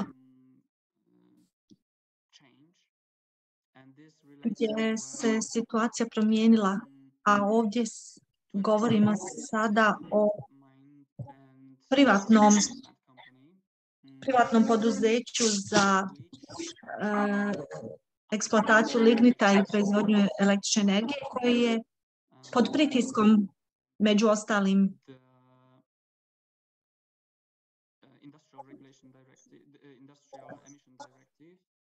E, direktive o industrijskim emisijama e, bilo prisiljeno zatvoriti najstarije elektrane i jedan e, od rudnika lignita, tako da se sada borimo sa odlukom o, preostalim, o preostalom rudniku i dvije termoelektrane. Dakle, bez obzira na to kada i kako će preostali e, rudnici i termoelektrane biti zatvoreni.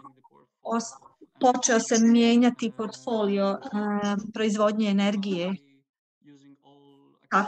korištenjem svih, e, svih raspoloživih sredstava, odnosno obnovljivih izvora energije, proizvodnja vodika iz biomase, vjetroturbine, solarne elektrane, tako da je poduzeće sada aktivno.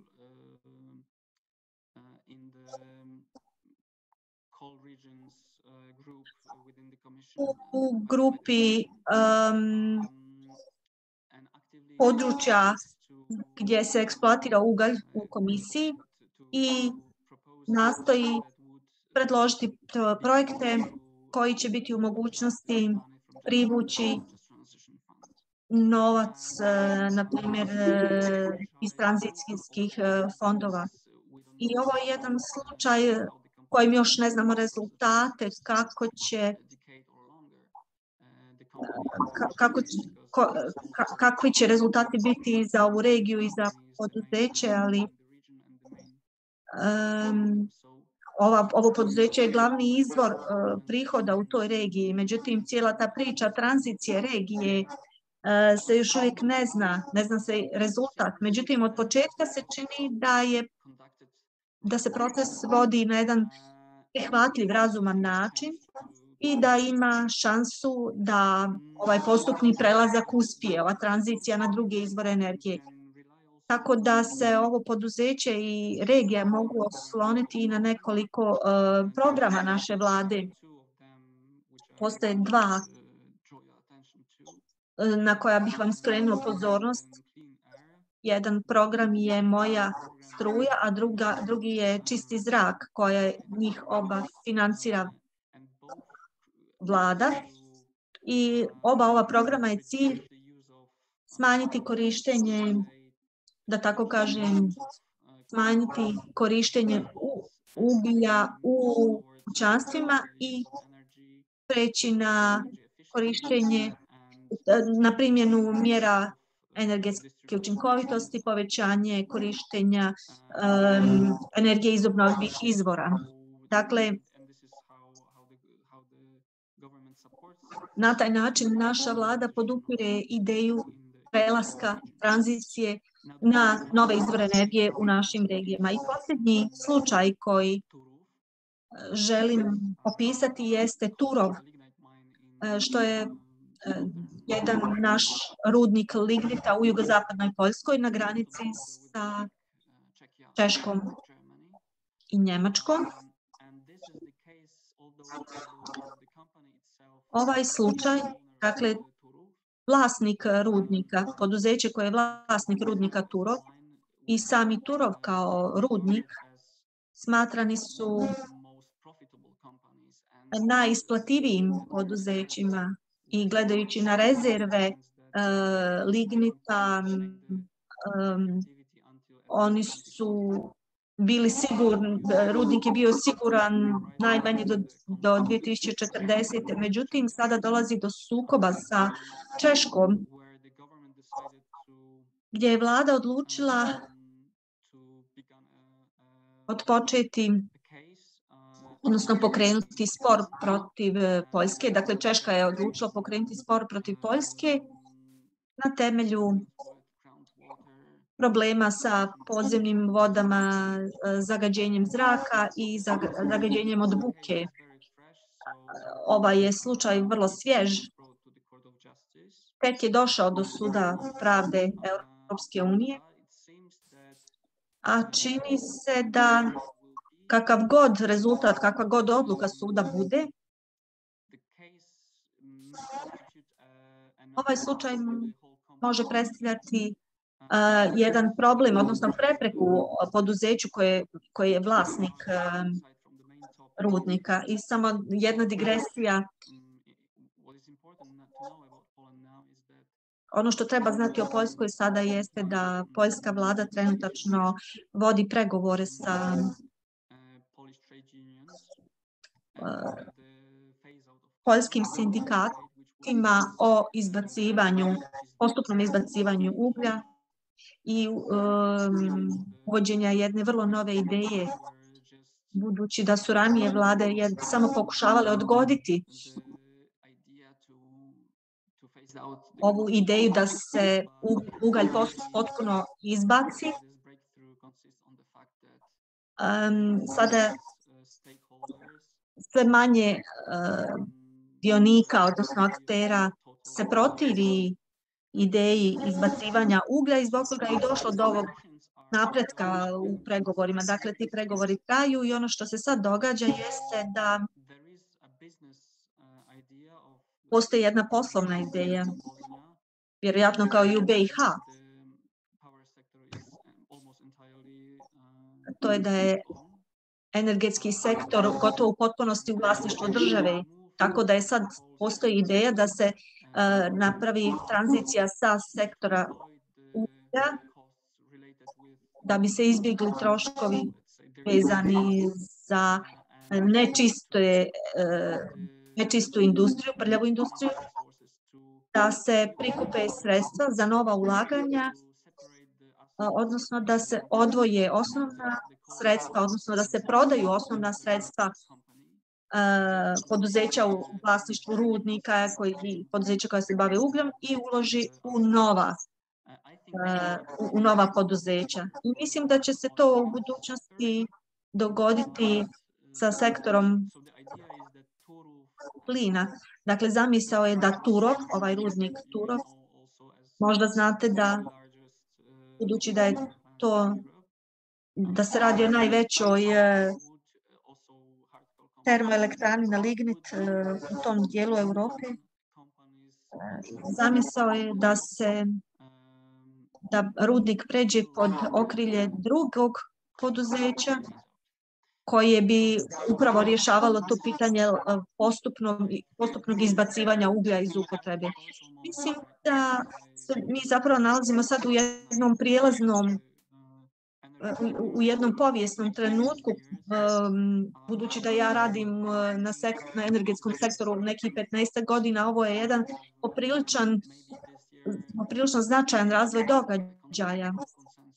I vjerujem da ćemo dostići jedno opće um, opći dogovor, opće slaganje sa ovim postupnim, postupnim izbacivanjem uglja. To se naravno neće dogoditi preko noći, međutim mislim da će se, da, da će dogoditi svakako brže nego što a, su neke zvanične procjene i za nas u Poljskoj je ovo jedna važna stvar. Um, još da dodam, prije četiri godine sam razgovarao sa profesorom iz zapadne a, Makedonije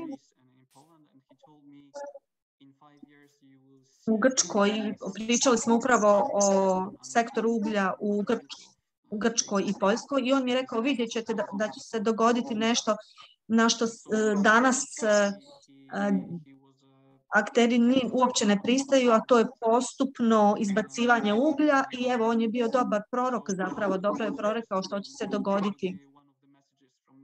I zapravo bi e, to možda bila danas jedna moja poruka vama, iako možda mislite da lignit i ugalj su besmrtni, e, mislim da utjecaj Europske unije je vrlo jak i jedan put između različitih propisa um, koji reguliraju energiju koja se proizvodi iz uglja je posebno pitanje koje se mora riješiti. Evo na temelju ovih ova tri slučaja, ova tri primjera um, možete početi razmišljati o um, izbacivanju uglja i lignita kao jednog procesa koji je zbilja teško provesti. Međutim, druge strane možete o tom procesu misliti i kao jednom tranzicijskom procesu, a, kao jednoj ekonomskoj ideji o se, koja se može provesti, ali čija neprovedba može spriječiti određene procese. I također e, ograničiti e, konkurentnost na tržištu. I naravno, naravno em, što se tiče e, cijele aktivnosti rudarenja, to postaje sve manje em, isplativo sa točke gledišta poduzeća. Naravno, postoje različite direktive Europske unije i u Poljskoj koristimo, odnosno primjenjujemo neke politike za kako bismo ublažili ovaj proces. I iz mnogih iz, iz mnogih e, e, razloga e, koristimo one opcije kojima ćemo osigurati radna mjesta za ljude koji napuštaju sektor em, eksploatacije ugljena, zatim promicanje obnovljivih izvora energije, a, korištenje obnovljive energije i u kućanstvima. Dugoročno planiranje naravno uvijek važno i, i, ga savjetujemo. Važna je uloga organizacija civilnog društva u, u svemu ovome i također određeni podaci, odnosno cirkuliranje određenih podataka u javnosti smanjuje političke pritiske koji su u, u poljskom sektoru eksploatacije uglja bili dosta problematičnim. To je nešto s čime se još uvijek borimo u Poljskoj. Imali smo određenog uspjeha u tome, ali mislim da ova politika otvorenih, odnosno javnih podataka je prilično dobar alat koji bi trebalo primjenjivati. Hvala lijepa. Zahvaljujem se gospodinu Aleksandru Šporu na prezentaciji. Evo, tu imamo i njegove kontakte, a učesnici su dobili ili će dobiti ove sve prezentacije. Malo smo probili, tako reći, rok, odnosno termin njegove prezentacije, ali s obzirom da je Bosna i Hercegovina rudarska zemlja, da imamo dosta rudnika raznih vrsta ugljeva i da imamo termoelektrane aktuelne na koje se proizvodi dosta energije u BiH. Iz tog razloga nam je ova prezentacija interesantna i zahvaljujem se i gospodinu Amaru što je pronašao gospodina Špora da nam to predoči, a kako sam govorio, ako je Aleksandar bio sa nama i kad sam govorio o kolegama sa Hrvatskom, znači ostaćemo na vezi i posle ovog webinara za iskustva koja je Poljska prošla u ovim, tako reći, približavanju Evropskoj uniji. I sada predlažem da idemo na sljedeću prezentaciju, a to je e, gospođa Eva Krol i Mihael Fritz. Pa izvolite, o, evo ovdje imamo o njima kratku biografiju. E, gospođa Eva Krol je uključena u međunarodne programe i projekte koji se uglavnom provode u Donjoj Švedskoj koristeći evropske fondove, a od 2017. godine voditeljica je projekta Remix, pametne i zelene rudarske regije EU, koji je sufinansiran od, iz Inter-Red Europe programa, evropskog programa. A vezano za ovoga kolegu pošto će ona prezentovati, do, također ste u dnevnom redu dobili i kratku biografiju Mihajla Frica, međutim neću je sad e, čitati, s obzirom da će gospođa Eva da ovaj, izloži prezentaciju, pa gospođa Eva, izvolite, ako me čujete. Uh, good morning, ladies and gentlemen. Uh, dobar dan, dame i gospodo. Nadam se da i vi mene čujete. Veliko mi je zadovoljstvo što s vama mogu podijeliti moje osobno iskustvo i iskustvo Donje Šleske na ovom seminaru. Prije svega bih se htjela ispričati u ime mog kolege Mihajla Friča koji se nažalost iznenada razbolio.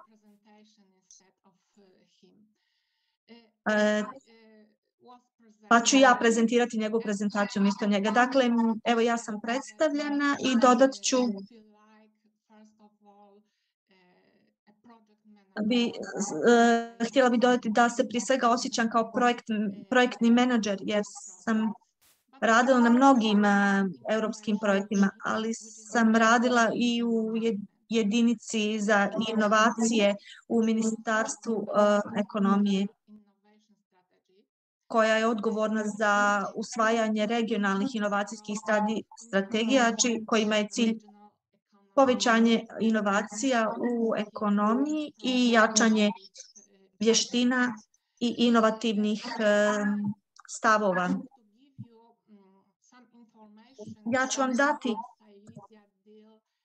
e, neke informacije o tome e, kako Donja Šleska e, rješava pitanja rudarstva ali bih prvo htjela staviti Donju Šlesku u kontekst Europe i rudarenja.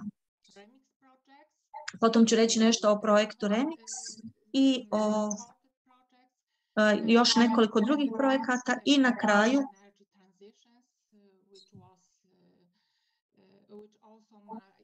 o tranziciji energije, o čemu je govorio i kolega Špor i ko što je sada veliko pitanje u Poljskoj. Dakle, preći ću na prvi slajd. Donja Šleska nalazi se u centralnoj Europi, u sjevero, u, u zapadnoj sjeverozapadnoj Poljskoj. E, imamo e, teritorij ima oko 3 miliona stanovnika. Ona je e, Poljska ima 16 vojvoda, vojvodstava, a imamo 30 okruga ili distrikta. Dakle, obrazovanje, zdravstveno zaštita, zaštita okoliša, e, prostorno planiranje i ekonomski razvoj se rješava u okviru e, na, na nivou vojvodstava, a na nivou okruga se e, rješavaju pitanja regionalne imovine i donose regionalni budžeti.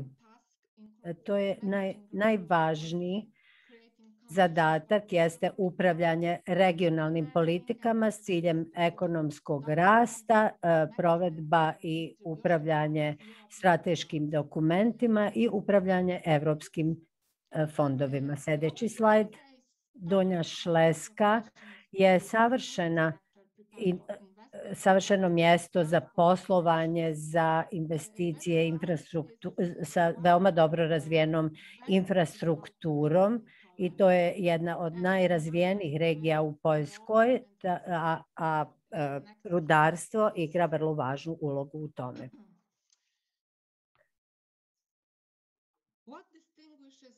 Šta po, po čemu se razlikuje Donja Šleska od ostalih regija jeste raznovrsnost ležišta minerala, što možete vidjeti na ovoj karti. Najvažniji su minerali bakar i srebro i e, oni su e, e, to je koncentrisano negdje na sjeveru ove regije, također gas je na sjeveru, mrki ugalj na jugozapadu i imamo dosta vrlo kvalitetnih izvora građevinskog materijala koji se nalaze u cijeloj regiji.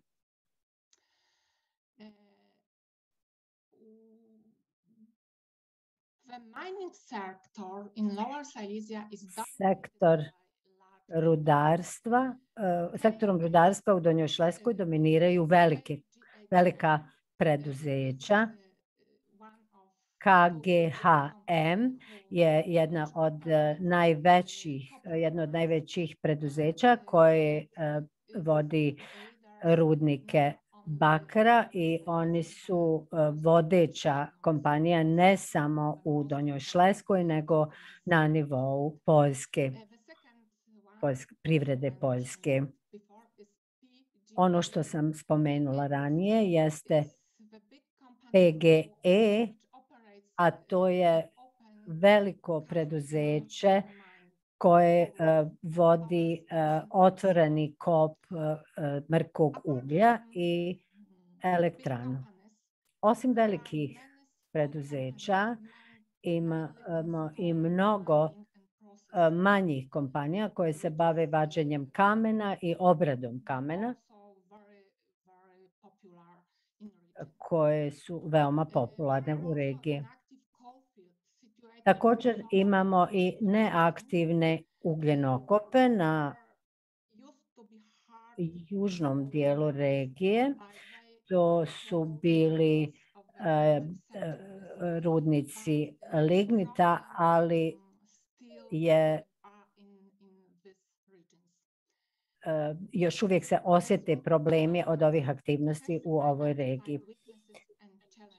Analizom su utvrđene slabosti i izazovi koje podrazumijeva industrija ili vađenje uglja, a to su nepostojanje jasne državne strategije o sirovinama, zatim vrlo slaba prerada resursa, dominacija rudarskih preduzeća, zatim veoma nizak nivo inovativnog faktora i ulaganja u istraživanje i razvoj u mala i srednja preduzeća, zatim siromašenje rudarskih resursa i velike investicije i društveni troškovi novih rudnika, niska stopa društvenog prihvatanja novih inicijativa za rudarske aktivnosti, ali postoje i utvrđene su i neke prednosti i mogućnosti, to su raspolažemo rijetkim zemnim elementima. Zatim, jedna od prednosti je korištenje neaktivnih okana za različite vrste aktivnosti. I postoji velika potražnja za građevinskim materijalima.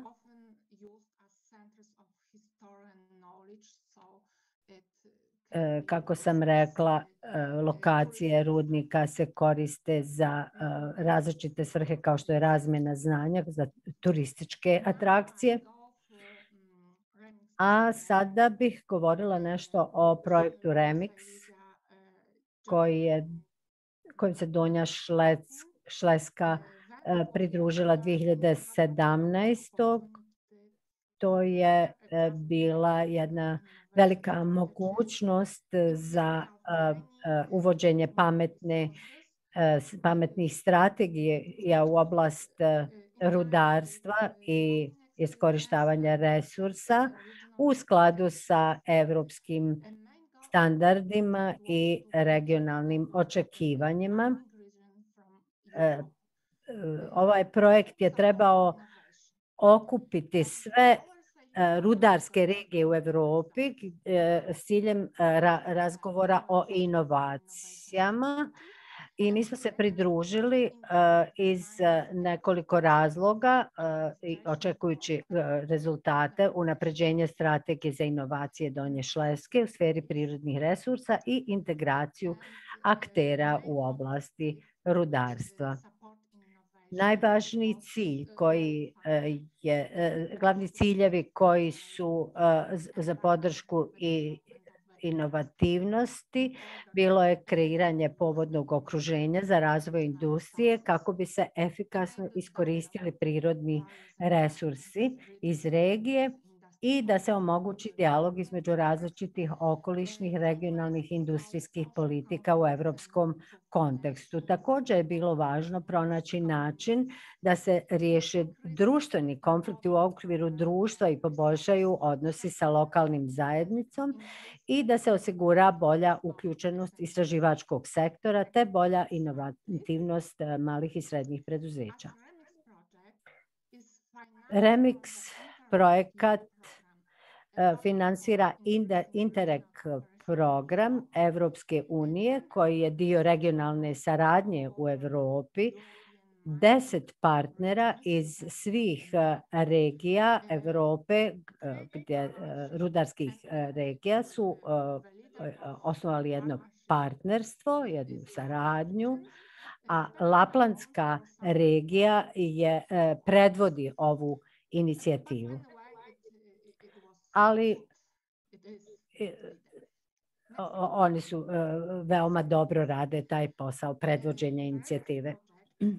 Projekat Remix nam je dao mogućnost, otvorio mogućnost da organizujemo regionalne grupe zainteresiranih strana sa težištem na pitanja rudarstva. Ova grupa je uključivala aktere iz rudarskog sektora, preduzeća koja rade u rudarstvu, univerzitete, institute, zatim poduzetnike i slično.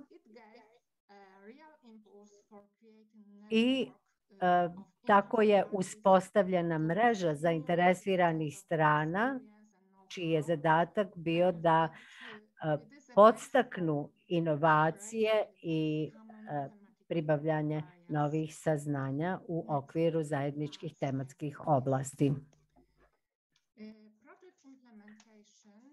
E, što se tiče provedbe projekta, realizacije projekta, ona je uključivala nekoliko različitih vrsta aktivnosti kao što su studijske posjete i stručne analize u partnerskim regijama, međunarodne konferencije o rudarstvu, redovni sastanci regionalne grupe i informativni sastanci. Na primjer, e, tu su izrađene financijske smjernice u okviru ove aktivnosti.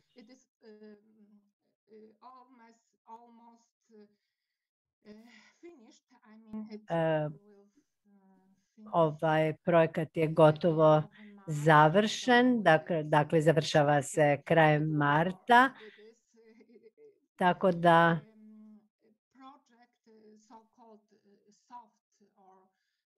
ne znam da li ga mogu okarakterisati kao uh, projekat koji se tiče isključivo zakonodavstva i propisa ili projekat koji E, se tiče stanovništva, koji, koji više utiče na stanovništvo.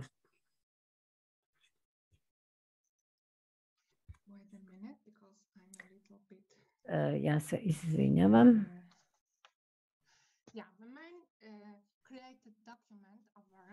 Najvažniji dokumenti koji su izrađeni u okviru projekta REMIX, e, znači glavni, glavne stavke akcijskog plana tiču se dva pitanja. Prvo pitanje je uticaj na regionalnu strategiju za inovacije Donje Šleske i bolje u strategija za Donju Šlesku usvojena je dva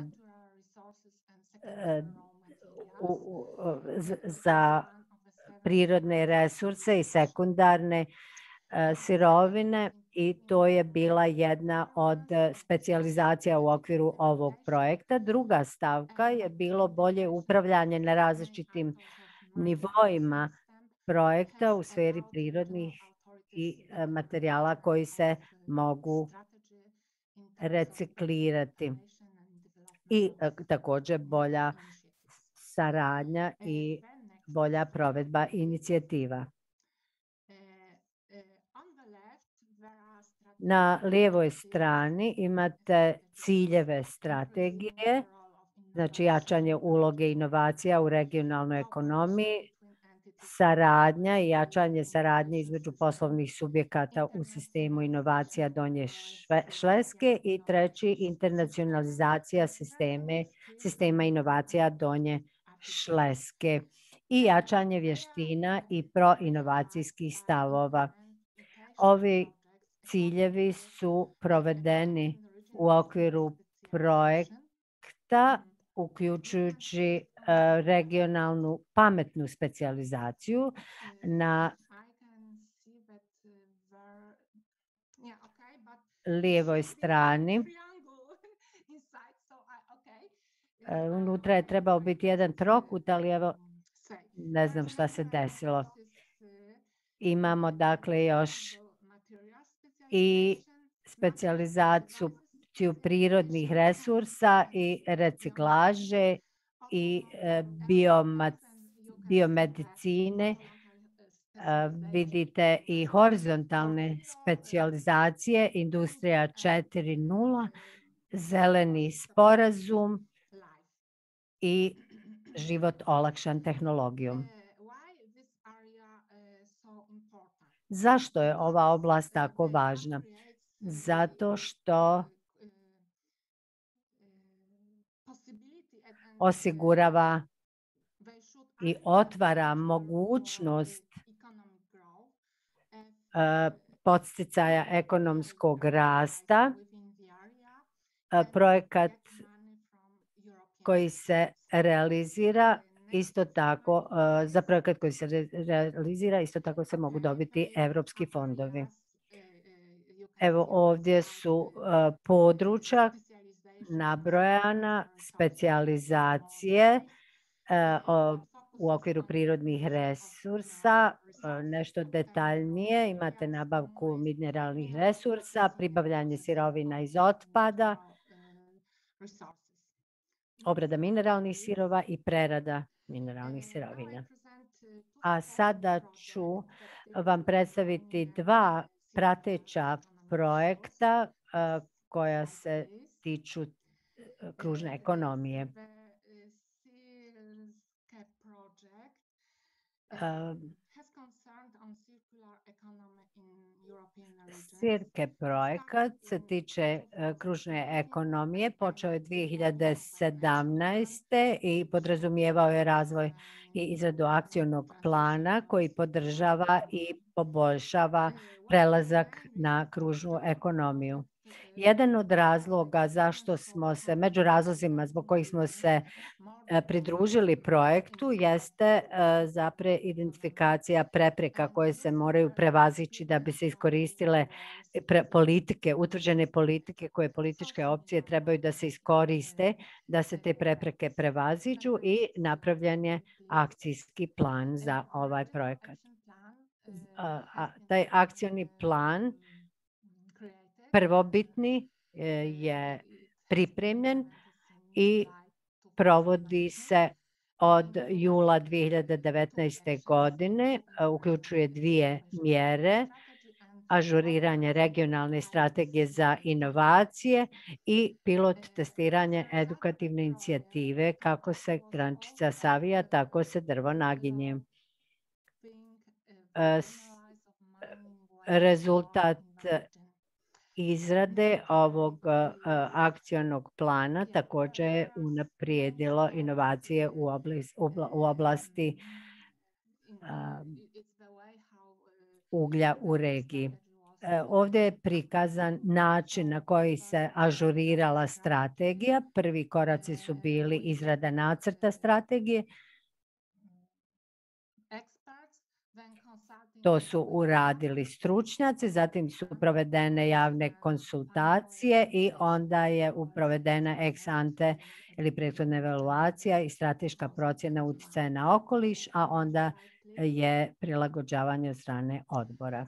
Sljedeći slajd. Jedan od najvažnijih rezultata ovog projekta jeste utjecaj na novu i formiranje novih specijalizacija pod nazivom Green Deal ili zeleni dogovor. Dakle, ona je uključivala tehnologije bez otpada i ci- cirkularne tehnologije e, u svim industrijama e, koje su aktivne u ovom sektoru. Druga mjera edukacija društva. Ona je e, u okviru ove, ove mjere održano je nekoliko radionica gdje se razgovaralo o e, okolišnim prioritetima u regiji. Između ostalog, možete preskočiti ovaj slajd. Tu su samo fotografije sa događaja održanih u sklopu projekta. A sljedeći projekat Mind Life, e, što znači život sa rudarstvom ili u rudarstvu. Glavni cilj je bio intenzivirati institucionalnu saradnju i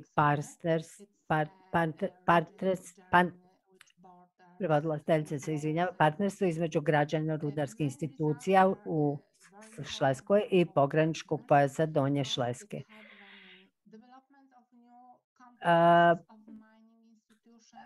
Tako, ovaj projekat je u, također doprinjao razvoju znanja u oblasti rudarstva i naravno razvoj nadležnosti rudarskih institucija, razvoj efikasnih strategije i unapređena je sa, saradnja sa našim susjedima. Je veoma važno pitanje sa stanovišta Evropske zajednice jeste druga transformacija i e, to će se desiti u Poljskoj u narednim godinama, će biti provedena. Dakle, e, i tiče se regija sa e, gdje prevladava rudarstvo. Donja Šleska će kao prvi korak postati članica platforme i E, također će e, u okviru ove platforme biti organizovana razmjena između rudarskih područja u Europi. Naredni korak je Europska komisija je zapravo predložila osnivanje fonda za pravičnu tranziciju i to je trenutno jedno od najvažnijih pitanja za sve e, sva rudarska područja u Europi. E, Fond za pravičnu tranziciju će osigurati podršku društvenim promjenama koje se odnose na tržište rada i također će e, pružiti podršku područjima nakon zatvaranja rudnika, investicije u obnovljive energije, prelazak na cirkularnu ili kružnu ekonomiju i digitalizaciju. Sada smo u trenutku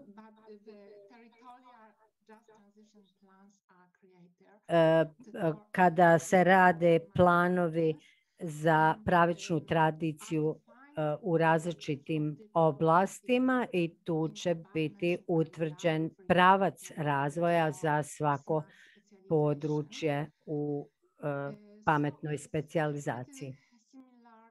Dakle, prilično slično onome što vi radite, dakle i izradi plana strategije i akcijnog plana, a mi e, radimo na akcijnim planovima za pravičnu tranziciju u Donjoj Šlezi, naročito u najsiromašnijim krajevima.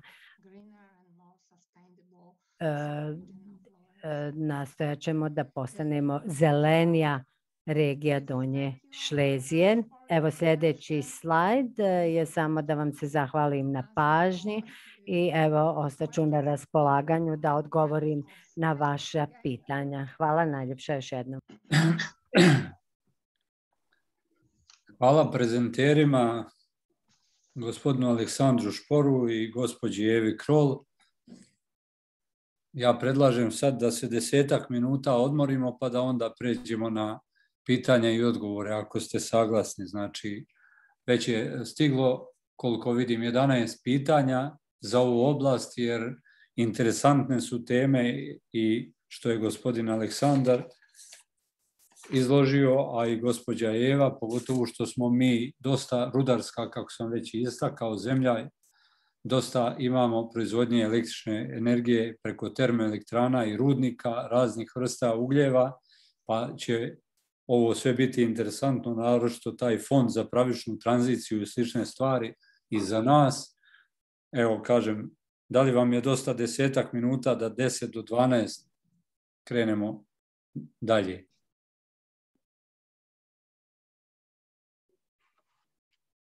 Ako ste saglasni, znači 10 do 12 da se vidimo i da onda praktično malo ćemo vrijeme, tako reći, ovaj, proći planirano u koje je 12, čas, 12 sati da se završi ovaj webinar, ali izgleda da ćemo morati, a možda i nećemo, sve zavisi kako budemo na ova pitanja.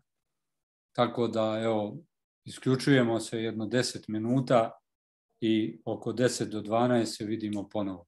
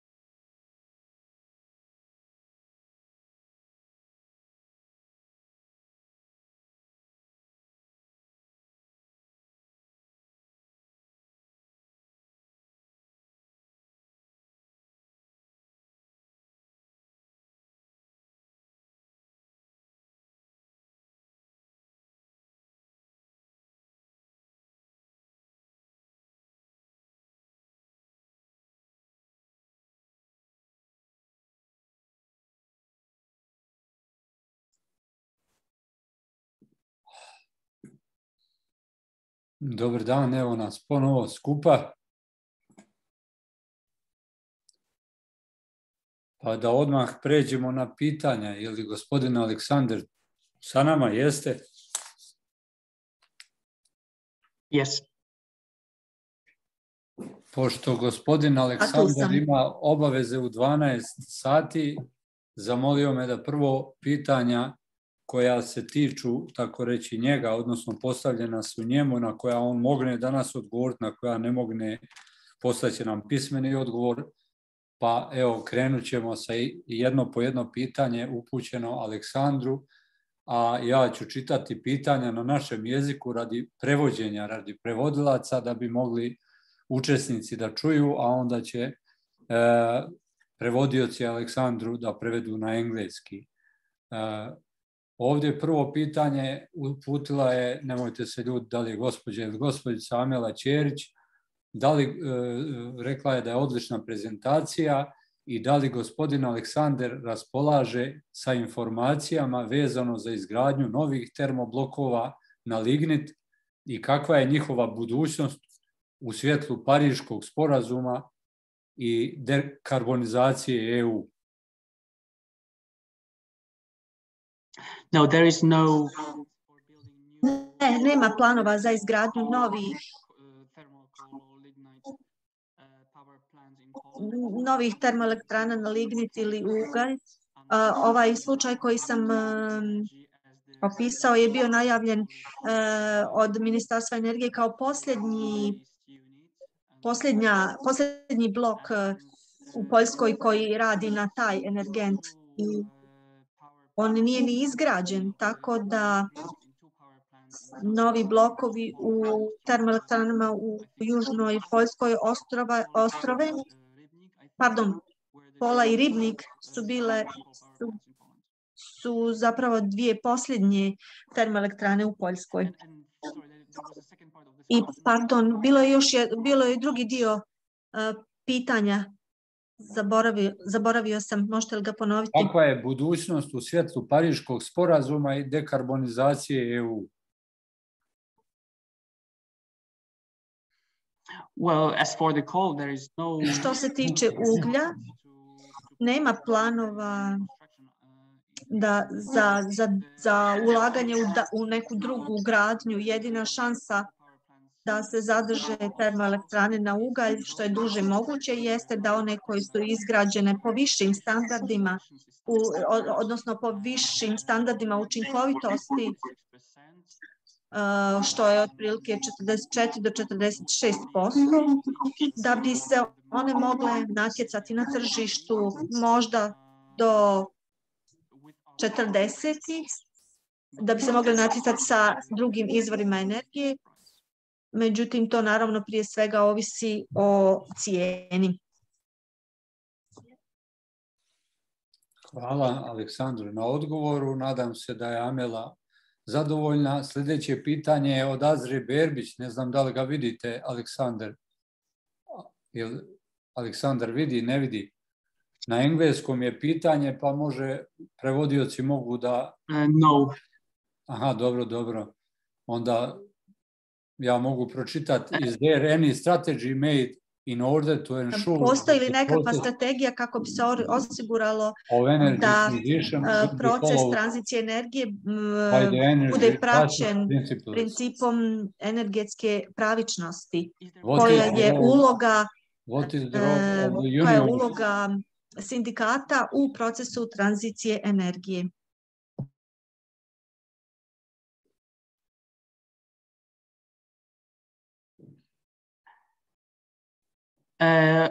Because the first part okay i read it now um Dobro, sad mogu pročitati, vidim. Znači, postoji li neka strategija koja će osigurati da proces tranzicije energije bude e, praćen procesom, principima pravične energije. Dakle, mi imamo jedan fond za tranziciju koji sada privlači najviše pozornosti, mada imamo i neke druge strukturalne fondove koji se ne nužno bave ovom pravičnošću, ali su spremni podržati taj proces. No, glavno pitanje jeste ovaj fond pra- za pravičnu tranziciju koji eh, ima 2 milijuna eura i polovica od toga je predviđena za Šleziju, koja je najveća rudarska oblast u Poljskoj i članice Europske unije, odnosno regije u EU, da bi dobile novac moraju napraviti neke strateške dokumente za planove, za projekte koji će omogućiti stvaranje novih radnih mjesta, omogućiti stvaranje novih izvora energije i e, ispuniti zahtjeve iz uredbe o emisijama. E, dakle, tri regije u Poljskoj se sada natječu za ta sredstva, a još tri regije nastoje ući u taj fond, međutim nijedna od njih nije jasno navela razdoblje u kojem bi postupno izbacili ugalj, tako da Europska unija nije baš spremna dodijeliti ikakva sredstva ako ne postoji nekakvo jasno izjašnjenje o tranziciji. Sljedeće pitanje, molim vas. Sljedeće pitanje, koliko, koliki je u Poljskoj bio izvoz električne energije a koliko je sada uvoz ili smanjen izvoz pri smanjenju korišćenja uglja kao goriva? Otprilike. The uh, well, I think the whole history of uh, A mislim da cijela ta povijest uvoza i izvoza uh, električne energije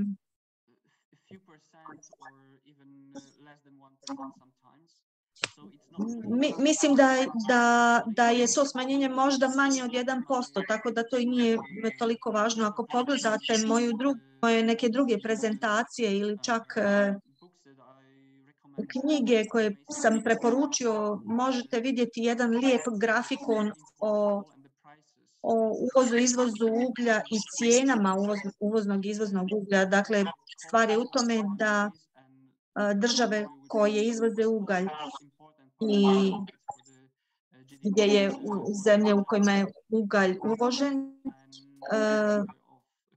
Poljska je postala prije svega uvoznik uglja iz Rusije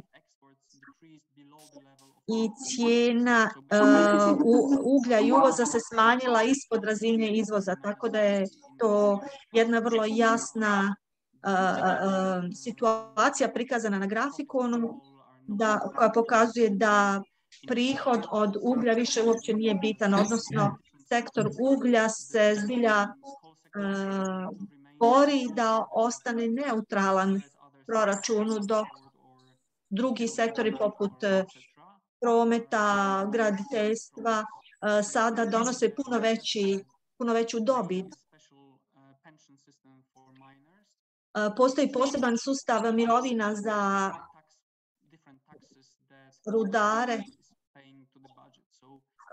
koji se plaća iz različitih poreza koje sektor uglja e, uplaćuje, tako da e, sektor ostaje zapravo neutralan što se tiče prihoda. Ima li još pitanja za mene? Aleksandar ima još dva koliko ja vidim. Jedno je kratko. Ako znate normalno kolike su štete nastale u Poljskoj priključenj, priključenjem energetskoj zajednici i smanjenja proizvodnje energije iz fosilnih goriva?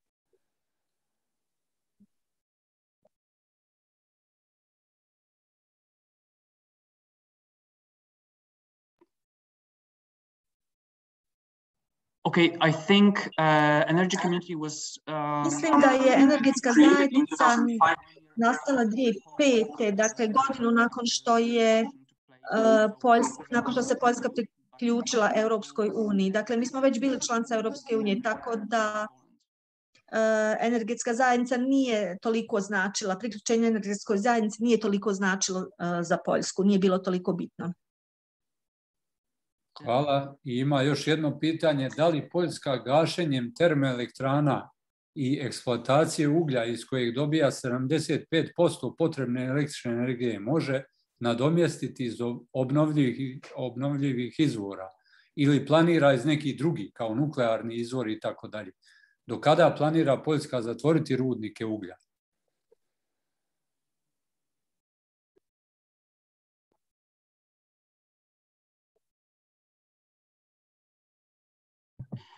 Well, the official the official plan for shutting down Zvanični plan za zatvaranje većine e, rudnika uglja jeste da 2049. a o tome se još pregovara sa sindikatima. A što se tiče novih izvora energije, odnosno novih potreba za energijom, postoji novi dokument koji od prošlog mjeseca energetska politika uh, Poljske do 2040. Pa, na primjer, ugalj bi bio smanjen na 56% do 2030. U, kao udio u proizvodnju energije. Nisam siguran za 2040. ali vjerujem sigurno manje od 50%. Što se tiče drugih izvora, postoje različiti izvori uh, energije. Mi još uvijek nemamo nuklearnu elektranu. Prvu nuklearnu elektranu bismo trebali imati, smo trebali imati 2020. Međutim, se njezina izgradnja stalno odlagala svakih dvije ili tri godine i trenutačni um, datum je da prva uh, nuklear, da prvu nuklearku uh, imamo 2033 a do 2040. od nje imamo 6 do 9 gigavata energije. Dakle, to je jedan izvor, međutim, mi prije svega računamo na brže, na brža rješenja, a to bi bile um, vjetroelektrane na Baltičkom uh, moru, a potom plin, uh, gdje radim, radimo Baltički cjevovod koji nas povezuju preko Danske i Švedske sa Sjevernim morem i sa izvorima u Norveškoj i solarna energija koja je trenutačno zanemariva, ali očekujemo da će snažno raširiti. Prošlih, protekle tri godine smo imali pravi boom u razvoju solarne energije. Nijedan od izvora neće... Imamo vrlo ograničene izvore uh, u uh, što se tiče hidroenergije, smo ravničarska zemlja, ali što se tiče drugih izvora energije, imamo da tako kažem, jedan ujednačen balans, odnosno mješavinu.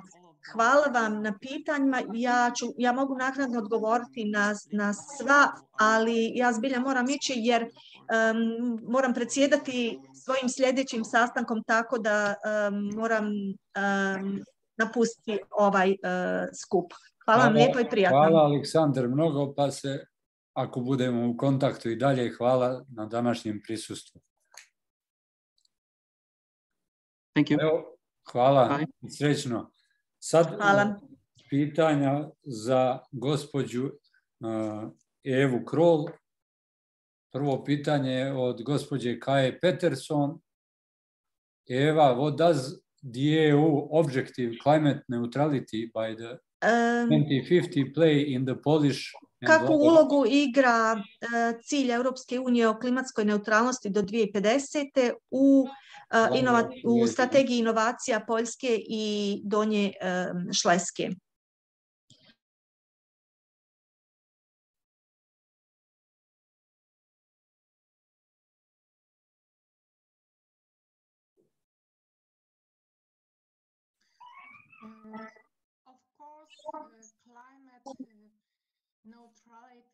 Naravno, klimatska neutralnost je iznimno važna.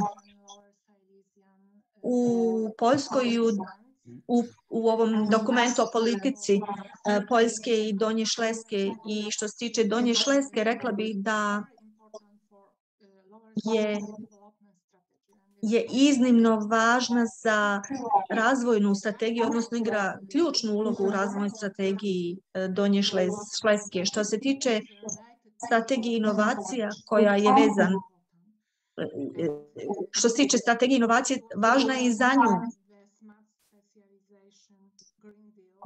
E, Definirana je kao pametna specijalizacija u zelenom planu, a što jest to je horizontalno područje koje znači da projekti iz različitih um, grana industrije se mogu provesti u tom području. Strategije su vrlo važne jer one definiraju projekte, odnosno područja uh, projekata koji se mogu financirati iz um, europskih i regionalnih izvora financiranja. Naravno, svi projekti mogu uzeti u obzir i zeleni plan. Mislim da je to, to zapravo i nužno. Hvala gospođo Eva na odgovoru. Evo sljedeće pitanje je od gospodina Zorana Bibanovića. Da li postoje iskustva sanacije okoliša ili životne sredine nakon eksploatacije ili završetka koncesionog ugovora?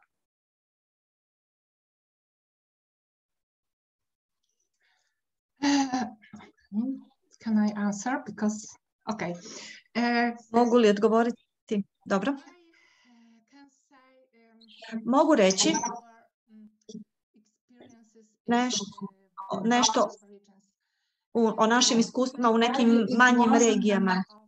Možda to nije bilo pitanje završetka koncesijskih ugovora, jer su ta iskustva iz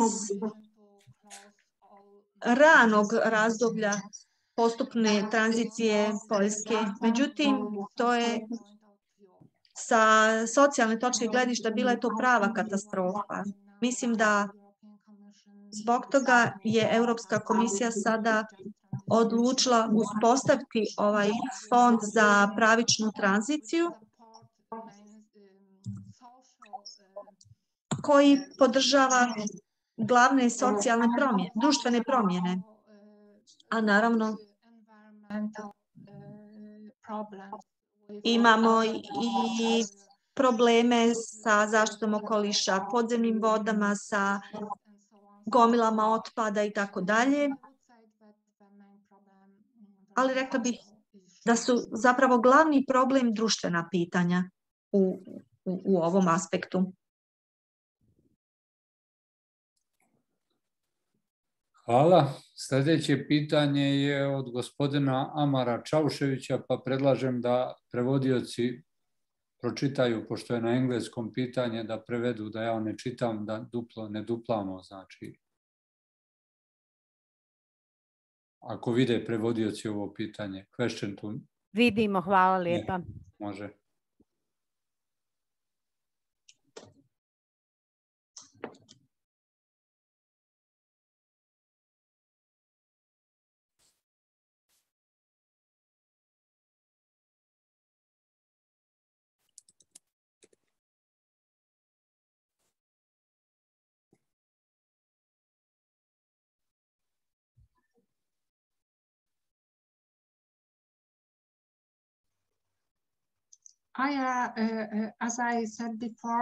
Kao most što sam rekla ranije, najvažnija su ova pitanja društvene prirode i uključenost e, zainteresiranih strana je od najvažnija. Dakle, sve različite radne grupe u različitim oblastima su nužne za ovaj proces jer učesnici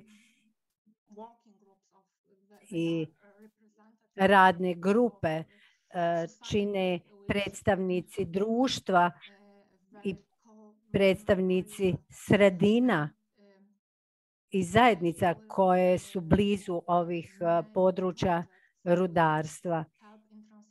I vrlo je važno e, realizirati projekte koji pomažu transformaciji. Drugo, vrlo važno pitanje, po mom mišljenju, su vrlo kvalitetni projekti. Zato je potrebno jako puno vremena i e, društveni konsensus. Jer e, vrlo često nema dovoljno novca za za sve neophodne projekte. I zaista je važno da se radi na pripremi dobrih projekata, a naravno i dobrih strategija, akcionih planova. Oni su također važni jer e, oni usmjeravaju e, tokove novca, protok novca, ali e, građani su uvijek najvažniji, ljudi su uvijek najvažniji e, faktor u svim procesima transformacije. Hvala gospođo Eva. Evo ima jedno pitanje na koje mislim da ste u svojoj prezentaciji odgovorili. Ko će finansirati tranziciju područja u kojima se vrši rudarenje, rudnici uglja, kao i otvaranje novih radnih mjesta? Mislim da ste to dijelom već odgovorili u svojoj prezentaciji. Yes, but I would like Da, ali bih e, željela dodati, naravno, pravična tranzicija e, e, podrazumijeva sredstva i e, dosta toga sufinancira Evropska unija, ali mislim da u našoj regiji će to sada biti maksimalno 30%, jer kao što, s- e, 50%, pardon, jer kao što sam već rekla, naš e, BDP je više od 75%, što znači da moramo e, sufinansiramo ove projekte iz našeg budžeta, iz e, reg- regionalnog i iz lokalnih budžeta, a sve zavisi od, od samog projekta. Naravno i e, poduzetnici trebaju biti uključeni jer e, e, tu je, dakle, općenito novac iz Europske unije sa regionalnog i lokalnog nivoa i onih korisnika koji koriste korisnici koji provode projekte, realiziraju projekte, oni su također uključeni. Hvala. Gospođo Eva, mislim da smo time iscrpili pitanja. Ima još jedno od, koliko vidim, potpisnik je Marija, ali ono je više za šumarstvo i za kolege iz Hrvatske. I ono što su mi u međuvremenu iz Štokholmskog instituta za životnu sredinu iz SEI javili da tako reći informišem sve prisutne da će sred, negdje u maju biti još jedan webinar ili na drugi način organizovan skup pravedna tranzicija i svi učesnici će dobiti informaciju i poziv za ovaj skup, pa tako da ste već sad kao jedna predinformacija za to, to je vezano shodno ovo što je gospođa Eva Krol govorila Fond za pravičnu tranziciju, jer kažem, dosta smo slični Bosna i Hercegovina sa velikim dijelom, naročito ove Šlezije i Šleske oblasti u Poljskoj, sa rudnicima i normalno da se mnogo našeg, tako reći, naroda boji kako će ostati bez radnih mjesta, kada zatvarati rudnike i ostalo, tako da preko ovaj ESAP Info i preko lo, lokalnog partnera SEI će organizovati ovaj webinar ili na drugi način skup pravedna tranzicija u maju mjesecu. Ako ima još neko, neko dodatno pitanje za gospođu Evu Krol, ako nema da se zahvalim i gospođi Evi Krol i Aleksandru i svim iz Hrvatske, Andreji još jedan put i Stjepanu, prezenterima i svima vama učesnicima. Jednog momenta je bilo oko skoro 120 učesnika, naravno zavisno od interesa sad se smanjio, a zahvaljujem se i prevodiocima koji su danas pomogli nam i jednoj i drugoj, tako reći, strani da što prije dođemo do, do prevoda i da prije e, učesnici dobiju e, komentare i odgovore na svoja pitanja, tako da bih ovaj webinar sad zatvorio, odnosno zaključio i nadam se opet nekom viđenju opet u, u, drugom nekom uh, ili webinaru ili drugom događaju. Ne znam ima li ko šta da doda dodatno, ako nema, ja bi se svima zahvalio i pozdravio vas i doviđenja. Izvinjavamo se što smo malo probili vrijeme, ali morali smo. Evo i gospođa Kaja Peterson se zahvaljuje u ime SEI i ostalih. Hvala svima i doviđenja. Thank you. Doviđenja.